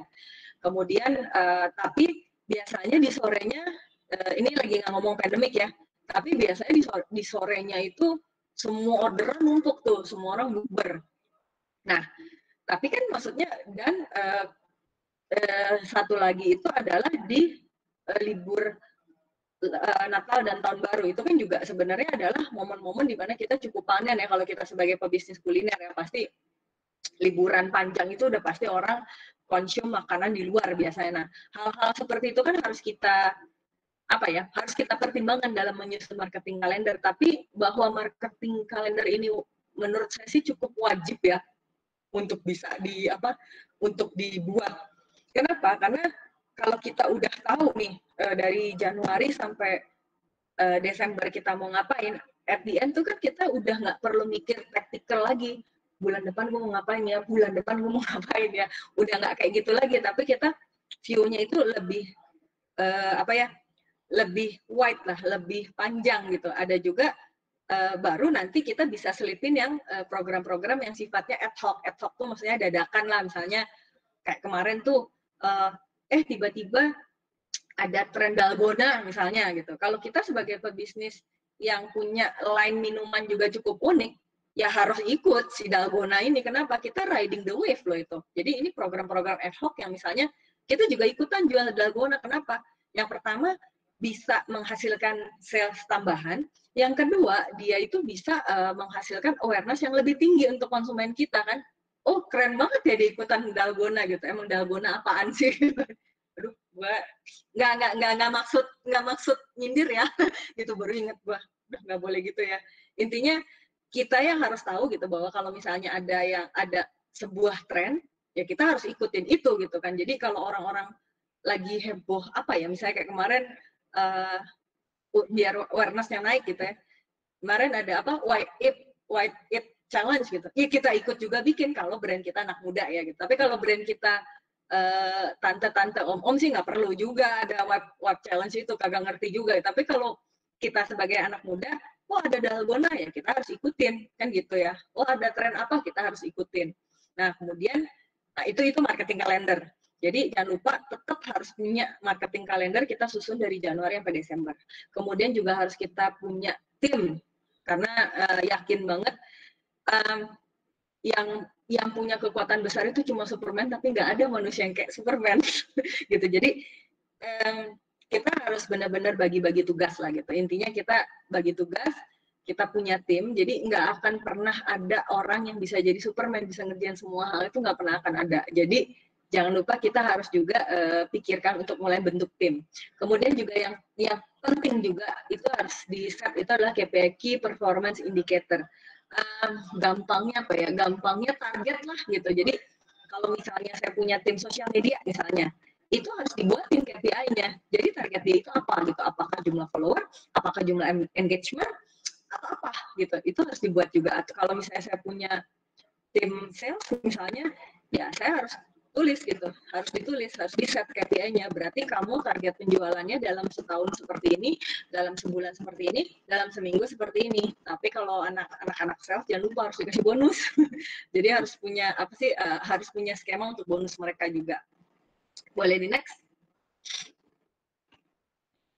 Oke, okay, paling cukup itu aja dari saya. Uh, itu ada email address saya, ada Instagram saya kalau memang nanti mau ngontek bisa lewat sana. Dan ini sebenarnya sedikit promo gitu. Uh, saya sama beberapa teman-teman saya sekarang kita lagi uh, sebentar lagi bukunya terbit gitu. uh, kita lagi nulis buku sebenarnya judulnya adalah 50 kesalahan fatal dalam bisnis kuliner. Jadi sebenarnya ini adalah apa ya ini adalah uh, pengalaman gagal kita. Jadi pengalaman gagal kita itu kita tulis gitu kan kita kumpulin uh, karena saya yakin banget kalau misalnya di luar sana kan udah banyak ya orang yang belajar dari kesuksesan seseorang. Nah, di sini saya mau memberikan info, mau memberikan inspirasinya itu justru dari kegagalan yang kita sudah lakukan. Harapannya itu, harapannya sih sebenarnya biar teman-teman kalau mau bisnis ya jangan diulangin yang udah kita kerjain. Jadi di sini kita tulis semua, uh, kesalahan-kesalahan yang pernah kita buat ke dalam sebuah buku uh, berdasarkan pengalaman kita sebagai penulisnya dan juga pengalaman beberapa teman-teman uh, komunitas bisnis kuliner yang tergabung di Foodies. Karena kita juga ada channel community-nya gitu sebenarnya. Ada channel community-nya uh, di sana juga kita sering bagi-bagi uh, e-book gratis bagi-bagi uh, dan teman-teman kalau misalnya mau nanya gitu ke foodies itu sebenarnya juga bisa kalau pertanyaannya nanti banyak itu akan kita jawab dalam bentuk video bahkan jadi enak lah gitu jadi cukup itu aja sih dari saya balikin lagi ke Dela oke Nah, oke, okay, Mbak Sarita, ya. menarik ya. pembahasannya. Aku udah kayak, wah ini insightful banget nih. nah, oke okay, Mbak. Tadi kan ada ini ya Mbak, aku mau nanya dulu nih sebelum kita ke Q&A. Ini uh, apa kawan-kawan kalau misalnya mau bertanya ke Mbak Sarita, silakan post di kolom chat. Ayo buru-buruan nanyanya. Uh, nanti kalau misalnya pertanyaan awal-awal, insya Allah aku tanyakan ya. Silakan dengan format nama, underscore kota, underscore pertanyaan. Nah, sebelum kalian yang nanya, aku dulu ya nanya ya kawan-kawan. Nah, tadi kan ada uh, set KPI ya Mbak. Nah, gimana sih ya. cara kita tahu uh, KPI ini yang udah di set untuk sebuah tim atau sebuah divisi ini efektif gitu loh Mbak? Gimana, gimana, gimana? Gimana caranya kita caranya tahu? tahu bahwa KPI yang di, udah di set uh, untuk sebuah tim ini merupakan KPI yang efektif. Gimana cara kita tahu bahwa oke okay, ini the right KPI gitu. Nah misalnya KPI ini kayak uh, kok kayaknya KPI ini kurang ini ya, misalnya kurang uh, realistis atau misalnya kurang masuk akal gitu. Itu fleksibel nggak sih Mbak diganti kalau untuk KPI? Gimana menurut Mbak Sarita? Uh, sebenarnya KPI itu kan sebenarnya kita set biasanya tuh kan di awal banget ya sebelum kita hmm. kerja. Nah, ya. kalau misalnya kita belum punya pengalaman sebelumnya, itu sebenarnya bisa uh, di set berdasarkan beberapa asumsi. Jadi hmm. maksudnya uh, kita asumsikan misalnya pekerjaannya kamu apa gitu, saya pekerjaan kamu apa, ya kita set berdasarkan misalnya jam kerja dia kah atau misalkan uh, apa yang sudah dia kerjakan kita coba petain dulu gitu. Tapi bukan berarti si KPI ini nggak bisa direvisi ya gitu. KPI itu tetap bisa direvisi, tapi mungkin nanti uh, kita harus ukur harus diukur dulu juga gitu. Jadi misalnya misalnya uh, Dela di saya kasih KPI misalnya harus uh, harus menjual sekian unit misalnya gitu kan dalam satu bulan. Nah kalau misalnya Dela udah pernah kerja sebagai sales itu kan saya bisa bisa tarik dari uh, prestasinya Dela yang dulu gitu kan.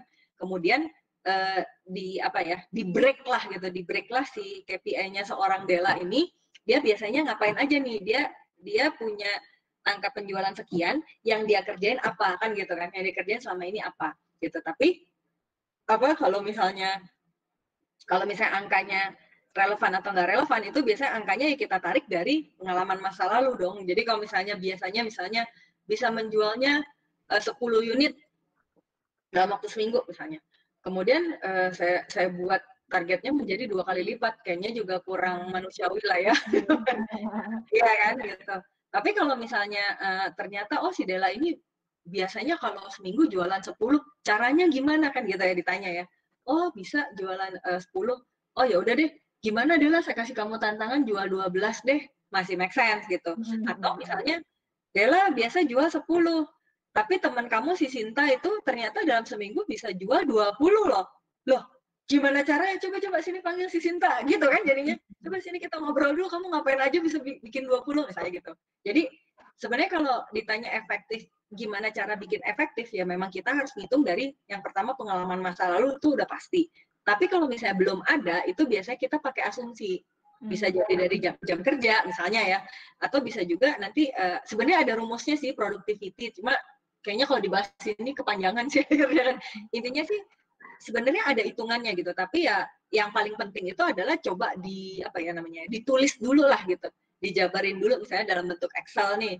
Terus uh, kamu ngapain aja sih kemarin gitu. Nah itu ditanya sama dia kamu ngapain aja? Oh saya ngebagi misalnya dalam menjual 20 unit ini saya bagi nih ini uh, customer prime misalnya gitu ini customer prime dia sekali beli bisa dua misalnya gitu hmm. bisa dua dalam seminggu gitu tapi ada juga customer yang jarang banget jangan-jangan cuma sebulan cuma belinya cuma sekali oh berarti kalau yang itu treatmentnya harus dibedain misalnya kayak gitu jadi kalau ditanya gimana caranya untuk efektif atau enggak ya harus balik lagi ke ukurannya sama capability orangnya.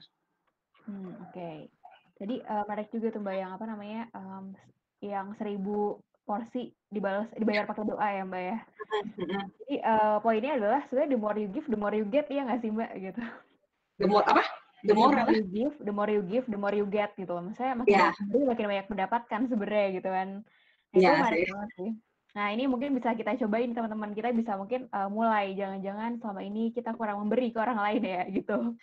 itu masing-masing ya maksudnya uh, strategi bisnis masing-masing. Tapi tadi strategi bisnis Mbak Sarita bener kayak bikin aku white wax sih. Maksudnya kayak uh, Mbak Sarita percaya bahwa the more we give the more we get kayak gitu. Nah itu yeah. mungkin bisa kita terapkan gitu. Nah terus um, Nah, ini kan kayak gini, Mbak. Kita lagi di masa yang uh, sekarang mungkin situasinya nggak menentu. Nah, mungkin Mbak Sarita juga sebagai pembisnis, mungkin ada beberapa masa yang justru uh, malah jadi kayak badai atau apa ya, atau sebuah terpaan cobaan gitu lah ya. Nah, uh, saat si bisnis dihadapkan sama kayak situasi kayak gini nih, Mbak, gitu. Nah, sebenarnya hal apa sih, Mbak, yang harus pertama kali dilakukan sama seorang business owner, Mbak? ketika ini terjadi kayak pandemik gini ya. Mm, mm, kan kayak terjadi situasi yang nggak ideal gitu ya Mbak. Nggak ideal.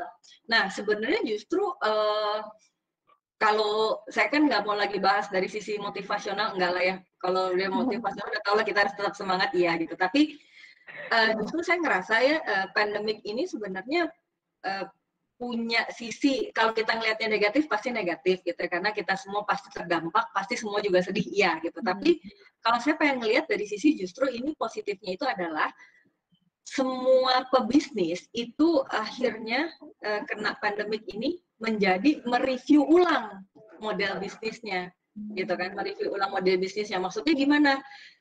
Model bisnis yang saya kerjain sekarang itu sebenarnya cukup kuat nggak sih gitu? Cukup uh, kuat atau justru rentan dengan si kondisi pandemik ini. Tapi kalau saya sih bisa ngomongnya itu cuma dari sisi kuliner kali ya, karena kalau dari sisi yang lain nggak terlalu ngerti to be honest gitu. Jadi kayak misalnya kayak ngomongin industri hotel, to be honest aku nggak ngerti. Nggak ngerti juga gitu. Tapi kalau ngomongin tentang uh, bisnis kuliner, uh, pandemik ini tuh sebenarnya uh, sisi positifnya itu adalah membuat kita yang uh, kita yang udah bisnis sekian tahun gitu ya, itu kembali nge-review lagi gitu bahwa sebenarnya uh, bisnis kita itu sebenarnya core-nya itu di mana sih? Apakah apakah di uh, apa? Apakah di produknya? Apakah misalnya di si model apakah di model bisnis yang ini cukup cukup kuat atau enggak? Jadi misalnya gimana ya? Uh, kayak atau brand kita itu udah cukup kuat atau enggak? Kan kita bisa lihat ya kayak justru kayak sekarang gitu kan kayak pandemik ini sekarang kan juga udah mulai pelonggaran tuh udah mulai kelihatan sebenarnya. Walaupun pandemik ini mau nggak mau itu kan sebenarnya merestart semua apa yang sudah kita lakukan gitu. Um, berita baiknya itu sebenarnya justru untuk untuk UKM lah bisa dibilang uh, untuk usaha-usaha yang belum terlalu besar yang bukan jaringan ya. Sebenarnya berita baiknya itu adalah kita lebih bisa meliuk-liuk ibaratnya kita bisa melakukan banyak hal yang lebih kreatif, lebih lebih apa ya, banyak produk baru yang langsung bisa kita eksekusi. Kan kalau usaha kita masih kecil, saya nggak harus minta izin siapa-siapa ya. apa uh, besok hari ini nggak punya kopi dalgona, besok dalgona udah bisa gue jual juga bisa gue jual. Tapi kan beda banget halnya dengan eh, perusahaan-perusahaan yang udah cukup besar gitu, apalagi yang bentuknya jaringan, apalagi yang bisa kita franchise dari luar misalnya. Itu kan um, apa ya prosesnya itu lebih panjang. Jadi besok saya mau jual, jual dalgona itu nggak bisa. itu saya saya harus ajuin dulu kan ke pusat untuk di approval. Nah, jadi sebenarnya justru uh, kayak pandemik ini yang harus kita lakukan itu adalah kita review ulang sebenarnya sih uh, apa yang sudah kita lakukan ke belakang itu kita petain ulang sebenarnya gitu. Kemudian kayak pandemik kemarin sih yang kerasa banget itu adalah uh, punya database konsumen itu ternyata benar-benar uh, tambang emas sih gitu karena banyak orang tidak melakukan itu. Nah, ketika pandemik ini kan mau nggak mau kita harus um, mengandalkan Gojek sama GoFood sama GrabFood. Tapi kan semua orang melakukan hal yang sama gitu. Uh, jadi ibaratnya ya saya sih nggak mau ada di kolam yang buta gitu kan, bukan cuma red ocean lagi udah hitam gitu kan, udah bener-bener padat banget gitu. Nah, kalau bisa kita pergi ke tempat yang lain gitu. Nah, database ini yang menurut saya kemarin tuh benar-benar jadi salah satu hal yang cukup apa ya cukup memberikan titik cerah lah gitu karena kalau kita punya database konsum, konsumen itu kan bisa kita sapa ya kita bisa sapa kita bisa kasih uh, penawaran kemudian uh, banyak juga orang yang tiba-tiba uh, jadi punya bisnis uh, frozen food atau uh, food yang DIY tadi gitu kan apa do it yourself di rumah. Jadi ya apa ya bisa dibilang ya ada plus minusnya lah gitu bahwa kitanya kitanya juga terdampak kitanya sama-sama sedih yes gitu. Jadi kayak kemarin juga sempat ngobrol sama beberapa teman uh, yang punya usaha juga uh, mereka itu kan sebenarnya bertahan kalau bisa nggak mau mecat karyawan ya gitu nggak mau merumahkan karyawan. Tapi kalau harus dirumahkan ya apa boleh buat kan gitu ya tapi sebenarnya dampak positifnya itu yang ini cerita yang cukup positifnya itu adalah ya e, mereka menyampaikan dengan baik-baik tentunya ya gitu e, kepada e, kepada karyawan-karyawan bahwa saya hanya bisa memberikan e, kompensasi sekian misalnya nggak bisa penuh. E, tapi dengan e, dengan apa ya e, satu bulan atau dua bulan insya Allah bisa balik lagi misalnya kayak gitu kan. Tapi ya itulah gitu loh. Dan si teman-teman kayak kemarin tuh kan salah satu adalah salah satu outlet saya juga sempat misalnya kemarin kita sempat tutup. Kenapa? Karena eh, secara sales itu nggak ngejar gitu kalau misalnya kita tetap harus buka. Akhirnya beberapa karyawan sempat kita rumahkan juga. Tapi sekarang kan kita udah mulai buka nih gitu. Pas kita udah mulai buka juga eh, senangnya itu mereka masih mau gitu loh. Masih mau untuk kita minta bantuan untuk kerja lagi gitu. Jadi kan sebenarnya nah pada saat mereka dirumahkan juga eh, kita tuh kan tadi saya cerita ya sempat bikin um, sistem reseller boss box juga kan. Jadi memang pada saat kita rumahkan itu kita juga bilang gitu bahwa mungkin saya nggak bisa gaji kamu uh, untuk sebulan bulan ini dan bulan depan belum tahu juga misalnya kayak gitu ya. Tapi saya ini lagi uh, ngusahain satu bentuk uh, model bisnis baru reseller dropshipper gitu. Jadi sayanya yang reseller orang uh, si karyawan-karyawan ini saya bilang mau nggak kamu jadi dropshipper saya? Dropshipper itu kan maksudnya uh, barangnya barang saya nih saya barang uh, barangnya saya simpan di outlet saya nih di gudang saya lah bisa dibilang gitu. Tapi nanti kamu bisa jualin gitu. Kamu bisa jualin ke siapa pun nanti uh, ada sistemnya tapi ya nanti bilang uh, kalau kamu jual tentunya kamu dapat komisi kan gitu ya. Tentunya kamu dapat margin kan. Nah nanti barangnya saya kirim itu namanya dropshipper. Jadi dia cuma kayak bukan maklar juga sih tapi dia yang jualin dia urusin penjualannya tapi nanti barangnya dikirim dari gudang saya ke konsumennya langsung. Nah, itu kan sebenarnya eh, apa ya? Jadi kita nggak bisa gaji, tapi ya karena kita ada model bisnis baru yang karena pandemik ini jadi ada gitu. Tapi kan kita ajarin gitu bahwa ternyata ini tuh bisa loh kamu lakukan di rumah gitu kan. Kamu bisa lakukan di rumah. Jadi ya bisa dibilang ya ketika krisis ini yang harus kita lakukan itu adalah ya kita yang sebagai pebisnis yang harus benar-benar putar otak banget kan hmm. uh, kira-kira ada celah celah apa sih kira-kira ada potensi apa yang bisa kita garap itu aja sih sebenarnya oke okay, ya Oh ini nggak kerasa nih Mbak 2023. Uh, eh, ini mungkin pen, uh, pertanyaannya agak singkat-singkat sedikit jawabnya Mbak. Ini ya, karena ya. ada beberapa yang nanya. Pertama dari anak Bandung nih Mbak. Eh, dari Reondo ya. namanya. Siapa? Reondo, Reondo. Reondo. Oke, nah ini uh, singkatnya adalah dia nanya, mungkin pada saat masa perintisan tuh kan uh, orang-orang mungkin cepat goyah gitu ya Mbak. Nah kalau untuk Mbak Serta sendiri kunci keberhasilannya saat lagi ngerintis usaha tuh apa sih Mbak? Uh, kalau misalnya kita mau bisnis itu kan tadi uh, harus ada tujuan dulu ya. Jadi kalau kita dalam hidup tuh namanya purpose kali ya. gitu. Jadi tujuannya mau ngapain dulu gitu dalam hidup. Mungkin uh, kalau dalam kasus saya sih mungkin karena udah umur juga sih Del. udah. Karena aku yang ngomong ya. ya kan nggak bisa dipungkiri ya makin makin nambah umur kita uh, kita memikirnya itu makin nggak terlalu individual gitu kan. Jadi kalau saya sih sama teman-teman uh, dulu dulu sih memang awalnya kan waktu kita pivot mikirnya itu emang untuk uang intinya gitu kan untuk uang. Hmm. tapi uh, seiring bertambahnya umur by the way gue udah 40 soalnya. Soalnya udah 40 gitu. jadi uh, apa se seiring dengan bertambahnya umur kan kita nanya balik lagi ke diri kita ya. Kalau saya sih ditanya jadi purpose-nya itu bikin bisnis apa? Ya saya pengen pengen ngasih dampak aja sih sebenarnya untuk orang lain gitu kan. Jadi uh, kalau purpose kita uh, ngasih dampak kita pengen berbagi gitu sama orang gitu ya. ibaratnya ninggalin apa sih ya? Ya kalau muslim ngerti lah ya namanya amal jariah gitu ya. Gitu. Cuma apa ya amal jariah itu diterjemahin apa ya? Uh, pokoknya saya mau ninggalin bekas di dunia inilah. Intinya yang masih bisa punya manfaat orang lain ya gitulah. Kurang lebih gitu. Jadi uh, ya kalau misalnya ditanya pernah waktu awal rintis usaha dulu to be honest gitu ya emang tujuannya duit sih.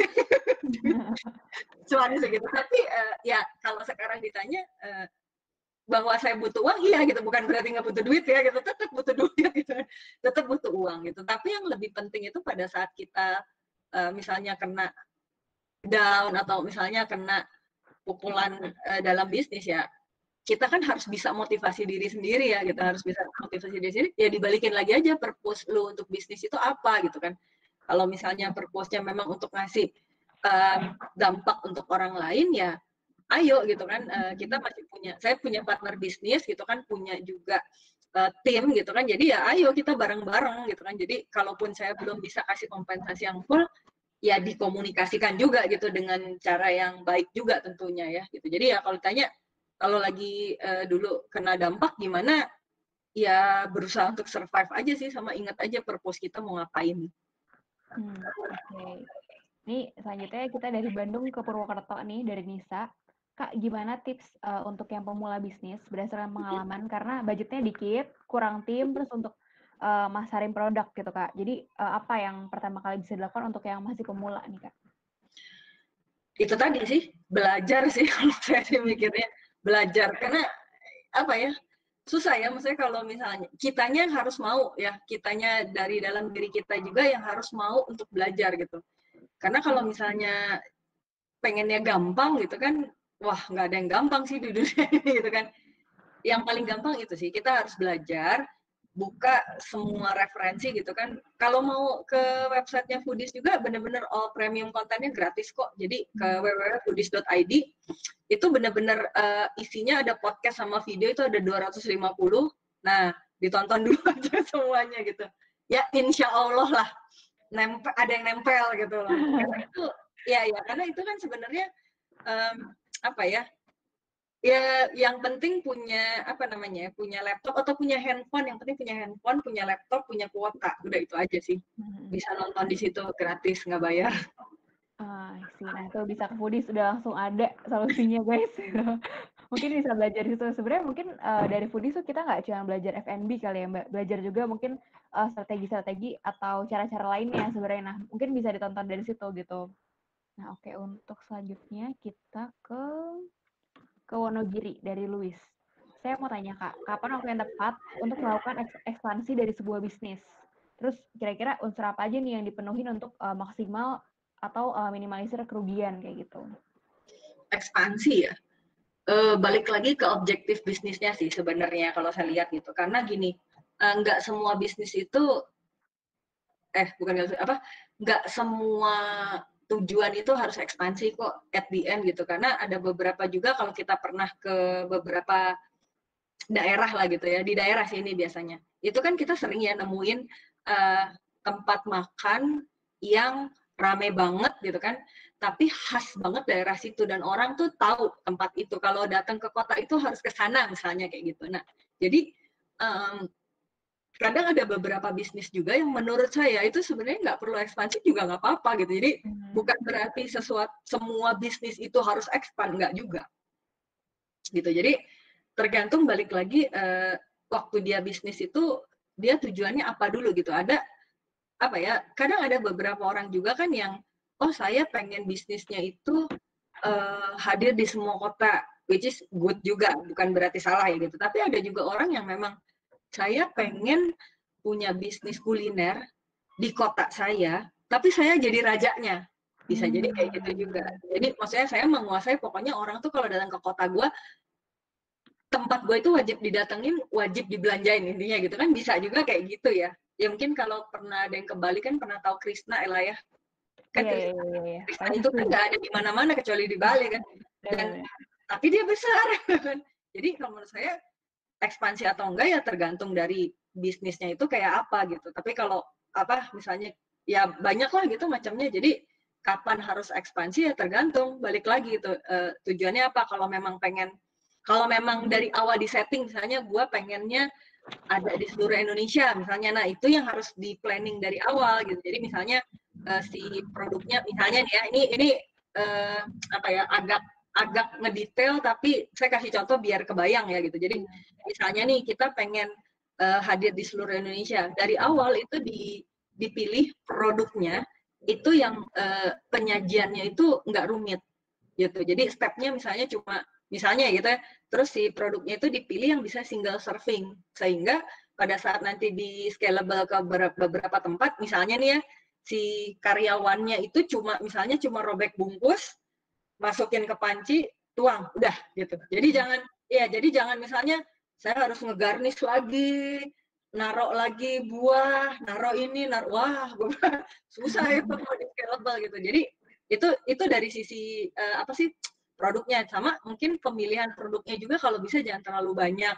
Kemudian bahan baku yang harus didistribusi ke berbagai tempat itu itu hmm. kalau bisa jangan yang terlalu jangan terlalu banyak dan kalau bisa si uh, produk-produknya itu kalau bisa bahan baku yang utamanya itu bisa di sourcing lokal.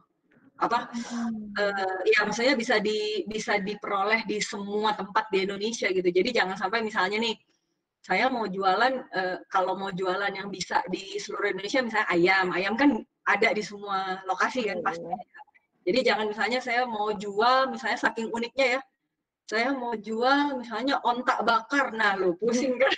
Gimana gue nge-sourcing ontak di di di di, di Bandung aja nggak tahu di mana.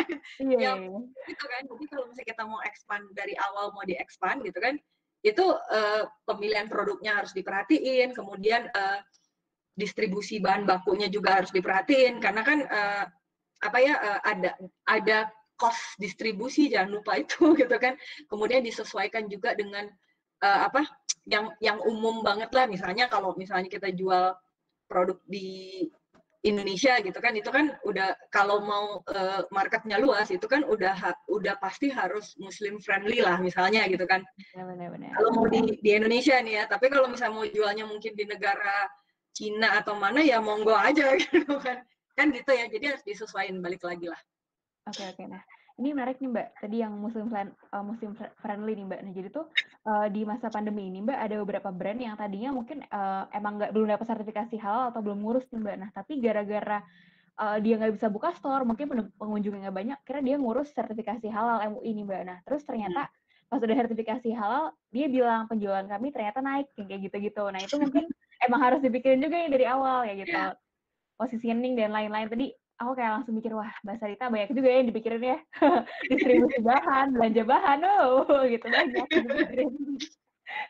nah ini uh, sebenarnya mohon maaf banget teman-teman kalau pertanyaannya ada nggak kepilih. Ini aku pilih yang uh, kira-kira pertanyaannya general dan bisa uh, kira-kira masuk ke berbagai lini gitu ya. Ini hmm. segitu dari Nurul di Semarang.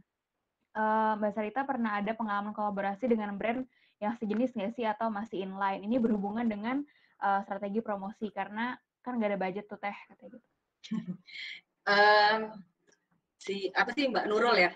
Mm-hmm. uh, Nurul sekarang itu adalah eranya kolaborasi sih sebetulnya ya. Jadi kalau ditanya pernah atau enggak ya pasti pernah lah uh, kita collab collab sama beberapa uh, apa ya beberapa pihak-pihak pihak-pihak lain sih pastinya pernah gitu. Jadi kayak misalnya um, apa ya pernah kita collabnya itu kalau yang brand abnormal lah misalnya gitu ya. Kita pernah gitu misalnya collab sama yang yang sejenis misalnya pernah kita jual uh, kue kering misalnya itu pernah juga pernah juga waktu itu dekat tahun lalu tapi tahun lalu uh, waktu dekat-dekat lebaran kita jualan kue kering. Itu kan sebenarnya inline sih kalau dibilang inline ya inline gitu kan.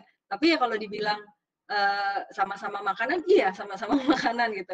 Uh, menggerus profit kita di outlet atau enggak? Enggak jawabannya. Karena yang kita pilih itu kan sebenarnya adalah produk-produk yang yang sebenarnya enggak substitute produk kita ya. Jadi kayak kayak misalnya kue kering itu kan biasanya orang beli buat dibawa pulang buat jadi oleh-oleh buat jadi um, bingkisan lebaran gitu. Jadi enggak disantap di outlet kita gitu. Walaupun kalau disantap di outlet juga sebenarnya nggak apa-apa sama kita dibiarinnya juga gitu. Nggak langsung ih nggak boleh nggak boleh juga gitu kan atau misalnya uh, banyak sih sebenarnya kalau collab-collab yang pernah dikerjain lupa saya cuma apa aja kayak misal oh pernah juga uh, collabnya itu sama uh, pernah kita collab sama Bang Bang waktu itu hmm. jadi pernah ingat nggak dulu uh, sempat tren viral es kepal ingat nggak? Oh, iya iya iya. Gitu. Tapi kan uh, kalau brand uh, dulu gini sebenarnya karena kitanya uh, taat aturan sih sebenarnya. Jadi dulu kita kan yang terkenal itu kan viralnya tuh kan Milo ya, hmm. bener kan dulu ya. Gitu. Tapi kita, uh, tapi kita kita jual si kepal Milo itu, eh nggak nggak kita nggak jual yang Milo gitu. Kenapa? Karena kita pengennya itu campaign bareng sama brandnya. Hmm. Jadi uh, waktu itu kita cari yang brandnya itu lokal juga yaitu Beng Beng Beng Beng kan uh, produsennya lokal ya Mayora. Mayora. Kalau Milo itu kan Nestle di luar negeri ya. Jadi karena waktu itu kita ngejar momen sih sebenarnya kita ngejar momen. Uh, kalau saya nungguin approval Nestle di luar negeri sana kelamaan udah keburu hilang ya es kepalanya. Jadi akhirnya waktu itu kita putar otak, oh gimana kalau kita ngajak Beng Beng aja yang kerjasama? Kenapa? Karena Beng Beng itu kan dia punya biskuitnya, dia punya minuman serbuknya juga kan saat hmm. itu ya. Eh, sampai sekarang juga masih ada sih. Gitu. Jadi akhirnya kita, jadi waktu itu akhirnya kita launch es kepal Beng Beng. Kenapa ya? Saya punya punya izinnya dari Beng Bengnya. karena kita taat aja sih sebenarnya nggak cuek gitu. Jadi kita, karena kita taat ya, itu kan sebenarnya akhirnya jadi collab ya sebenarnya antara kita antara abnormal sama si beng-bengnya gitu. Jadi hmm. beng-bengnya juga terkenal, abnormalnya juga ya ikut bareng-bareng uh, nge-publish yang sama sih sebenarnya.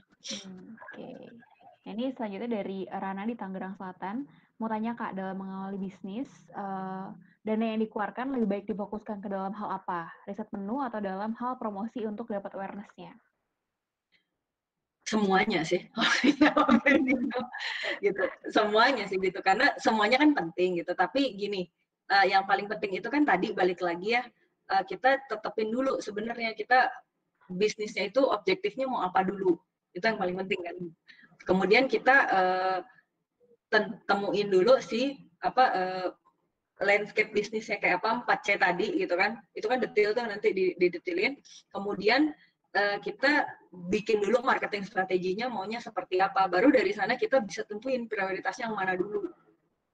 Hmm, oke. Okay. nah ini uh, inline nih pertanyaannya sama ada di YouTube. Halo kawan-kawan yang di YouTube terima kasih telah menyaksikan gitu. Ini dari Wikan. Kamu mau tanya uh, sekarang kalau konten sosial media itu signifikan nggak sih buat menaikkan minat pembeli uh, pada produk kita?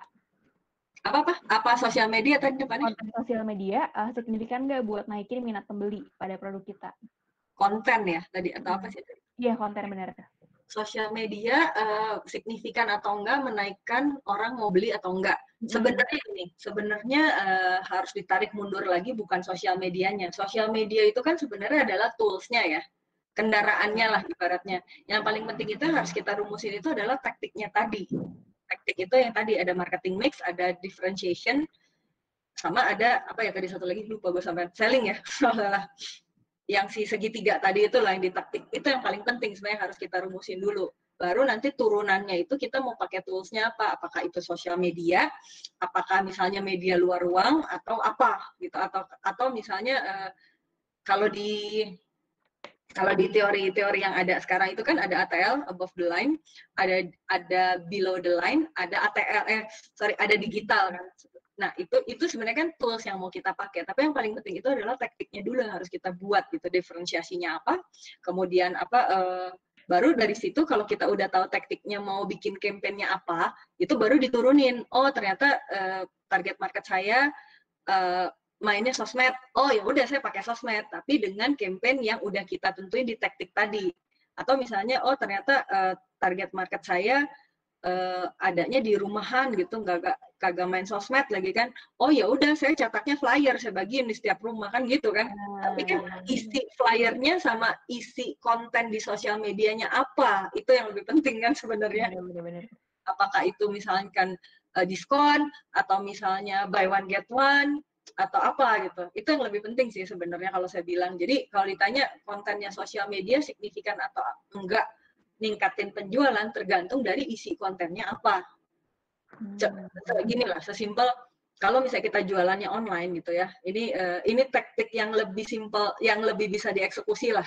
Misalnya kalau kita jualan di toko, kita punya toko online misalnya, either itu misalnya di lapak mana lapak mana gitu ya. Terus uh, kita pasang iklan di sosial media misalnya gitu ya. Nah jangan lupa gitu sih. Kan kalau pasang iklan di sosial media itu kan ada ada apa sih gue lupa namanya. Yang pokoknya yang di baris bawah bisa diklik itu loh. Either itu apakah masuk ke masuk ke uh, profile Instagram kamu. Uh, atau misalnya bisa dilariin ke landing page yang lain kan. Nah balik lagi gitu kan. Maksudnya lu mau jualan apa gitu? Kalau kita penawarannya udah jelas nih misalnya oh kalau beli ini dapat apa misalnya gitu kan dapat apa ya langsung lariinnya ke orang yang langsung bisa beli either itu misalnya ke lapak kamu langsung gitu atau bahkan ke nomor WhatsApp hmm. depend ya depend orang maunya apa gitu tapi jangan sampai begitu dia klik cuma nyampainya di profile Instagram what for Iya, yeah, gitu ya. Maksudnya nggak akan langsung nyiptain penjualan kan kalau lihat bio Instagram terus apa gitu kan. Ya, oh ya udah gitu. Ya, tapi kalau larinya misalnya langsung ke WhatsApp bisnis atau misalnya larinya langsung ke uh, apa Shopee atau misalnya ke toko ya, ya. itu kan langsung banget kan langsung hmm. diklik gitu, langsung beli gitu tapi ya isinya sih yang yang lebih penting itu adalah isi isi kontennya itu apa dulu gitu jadi efektif atau signifikan efektif atau enggak nyiptain penjualan ya tergantung dari isinya apa oke hmm. oke okay, okay. Ini uh, pertanyaan terakhir dari YouTube juga nih Mbak gitu. Nah ini dari Imam Mutakin di Waru. Kak mau tanya untuk produk premium, uh, mending produksi di awal atau pakai sistem pre-order pre-order nih? Waduh, bingung saya kalau ditanya itu produk premiumnya apa ya. gitu soalnya kalau saya cuma ngertinya kuliner sih soalnya nggak pernah saya apa nggak pernah jualan jam mahal gitu kagak pernah premium tuh apa ya misalnya uh, kalau kuliner, coba aku jawabnya dari sisi bisnis kuliner ya, karena kalau ah. kuliner itu kan uh, premium nggak premium itu biasanya cuma layeringnya aja sih, biasanya hmm. ya layeringnya aja. Maksudnya saya nih misalnya uh, jualan apa ya, misalnya jualan uh, mie misalnya mie ayam gitu kan yang dibilang premium itu kan mungkin lebih ke oh ini uh, bahan bakunya itu bahan baku tepungnya lebih mahal misalnya kayak gitu jadi kalau saya sih nggak ngerasa uh, si premium ini kalau di kuliner ya gitu premium juga kan biasanya nggak sampai beda jauh banget harganya kan dari yang standar gitu. Jadi kalau saya sih nggak pernah karena kuliner kan nggak nggak bisa disetok lama-lama juga ya. Jadi kalau saya sih nggak pernah pre-order ya gitu. Nggak makanya kalau misalnya nggak kuliner nggak terlalu ngerti sih nggak bisa jawab saya. Hmm, oke oke oke eh, siap mbak. Nah ini waktunya udah agak sedikit lewat. Maaf ya mbak Serita Gak apa-apa. sedikit ya waktunya. Oke Mbak, ini karena udah di penghujung waktunya Mbak, mau dong Mbak kasih closing statement buat semua kawan-kawan GNFI yang uh, masih menonton di Google Meet, di YouTube, di Twitter, sama di FB pokoknya pesannya sih buat teman-teman semua gitu. Intinya kalau kita mau jadi bisnis kita mau jadi pebisnis lah gitu apa pun bisnisnya gitu jangan pernah lupa ada eh, jangan pernah lupa kita harus terus menerus belajar lah. Jadi jangan pernah merasa dia cukup gitu. Karena eh, yakin lah gitu. Maksudnya di atas langit masih tetap ada langit ya gitu. Jadi eh, bener-bener harus kalau nggak suka baca buku sebenarnya nggak apa-apa gitu. Nonton aja gitu.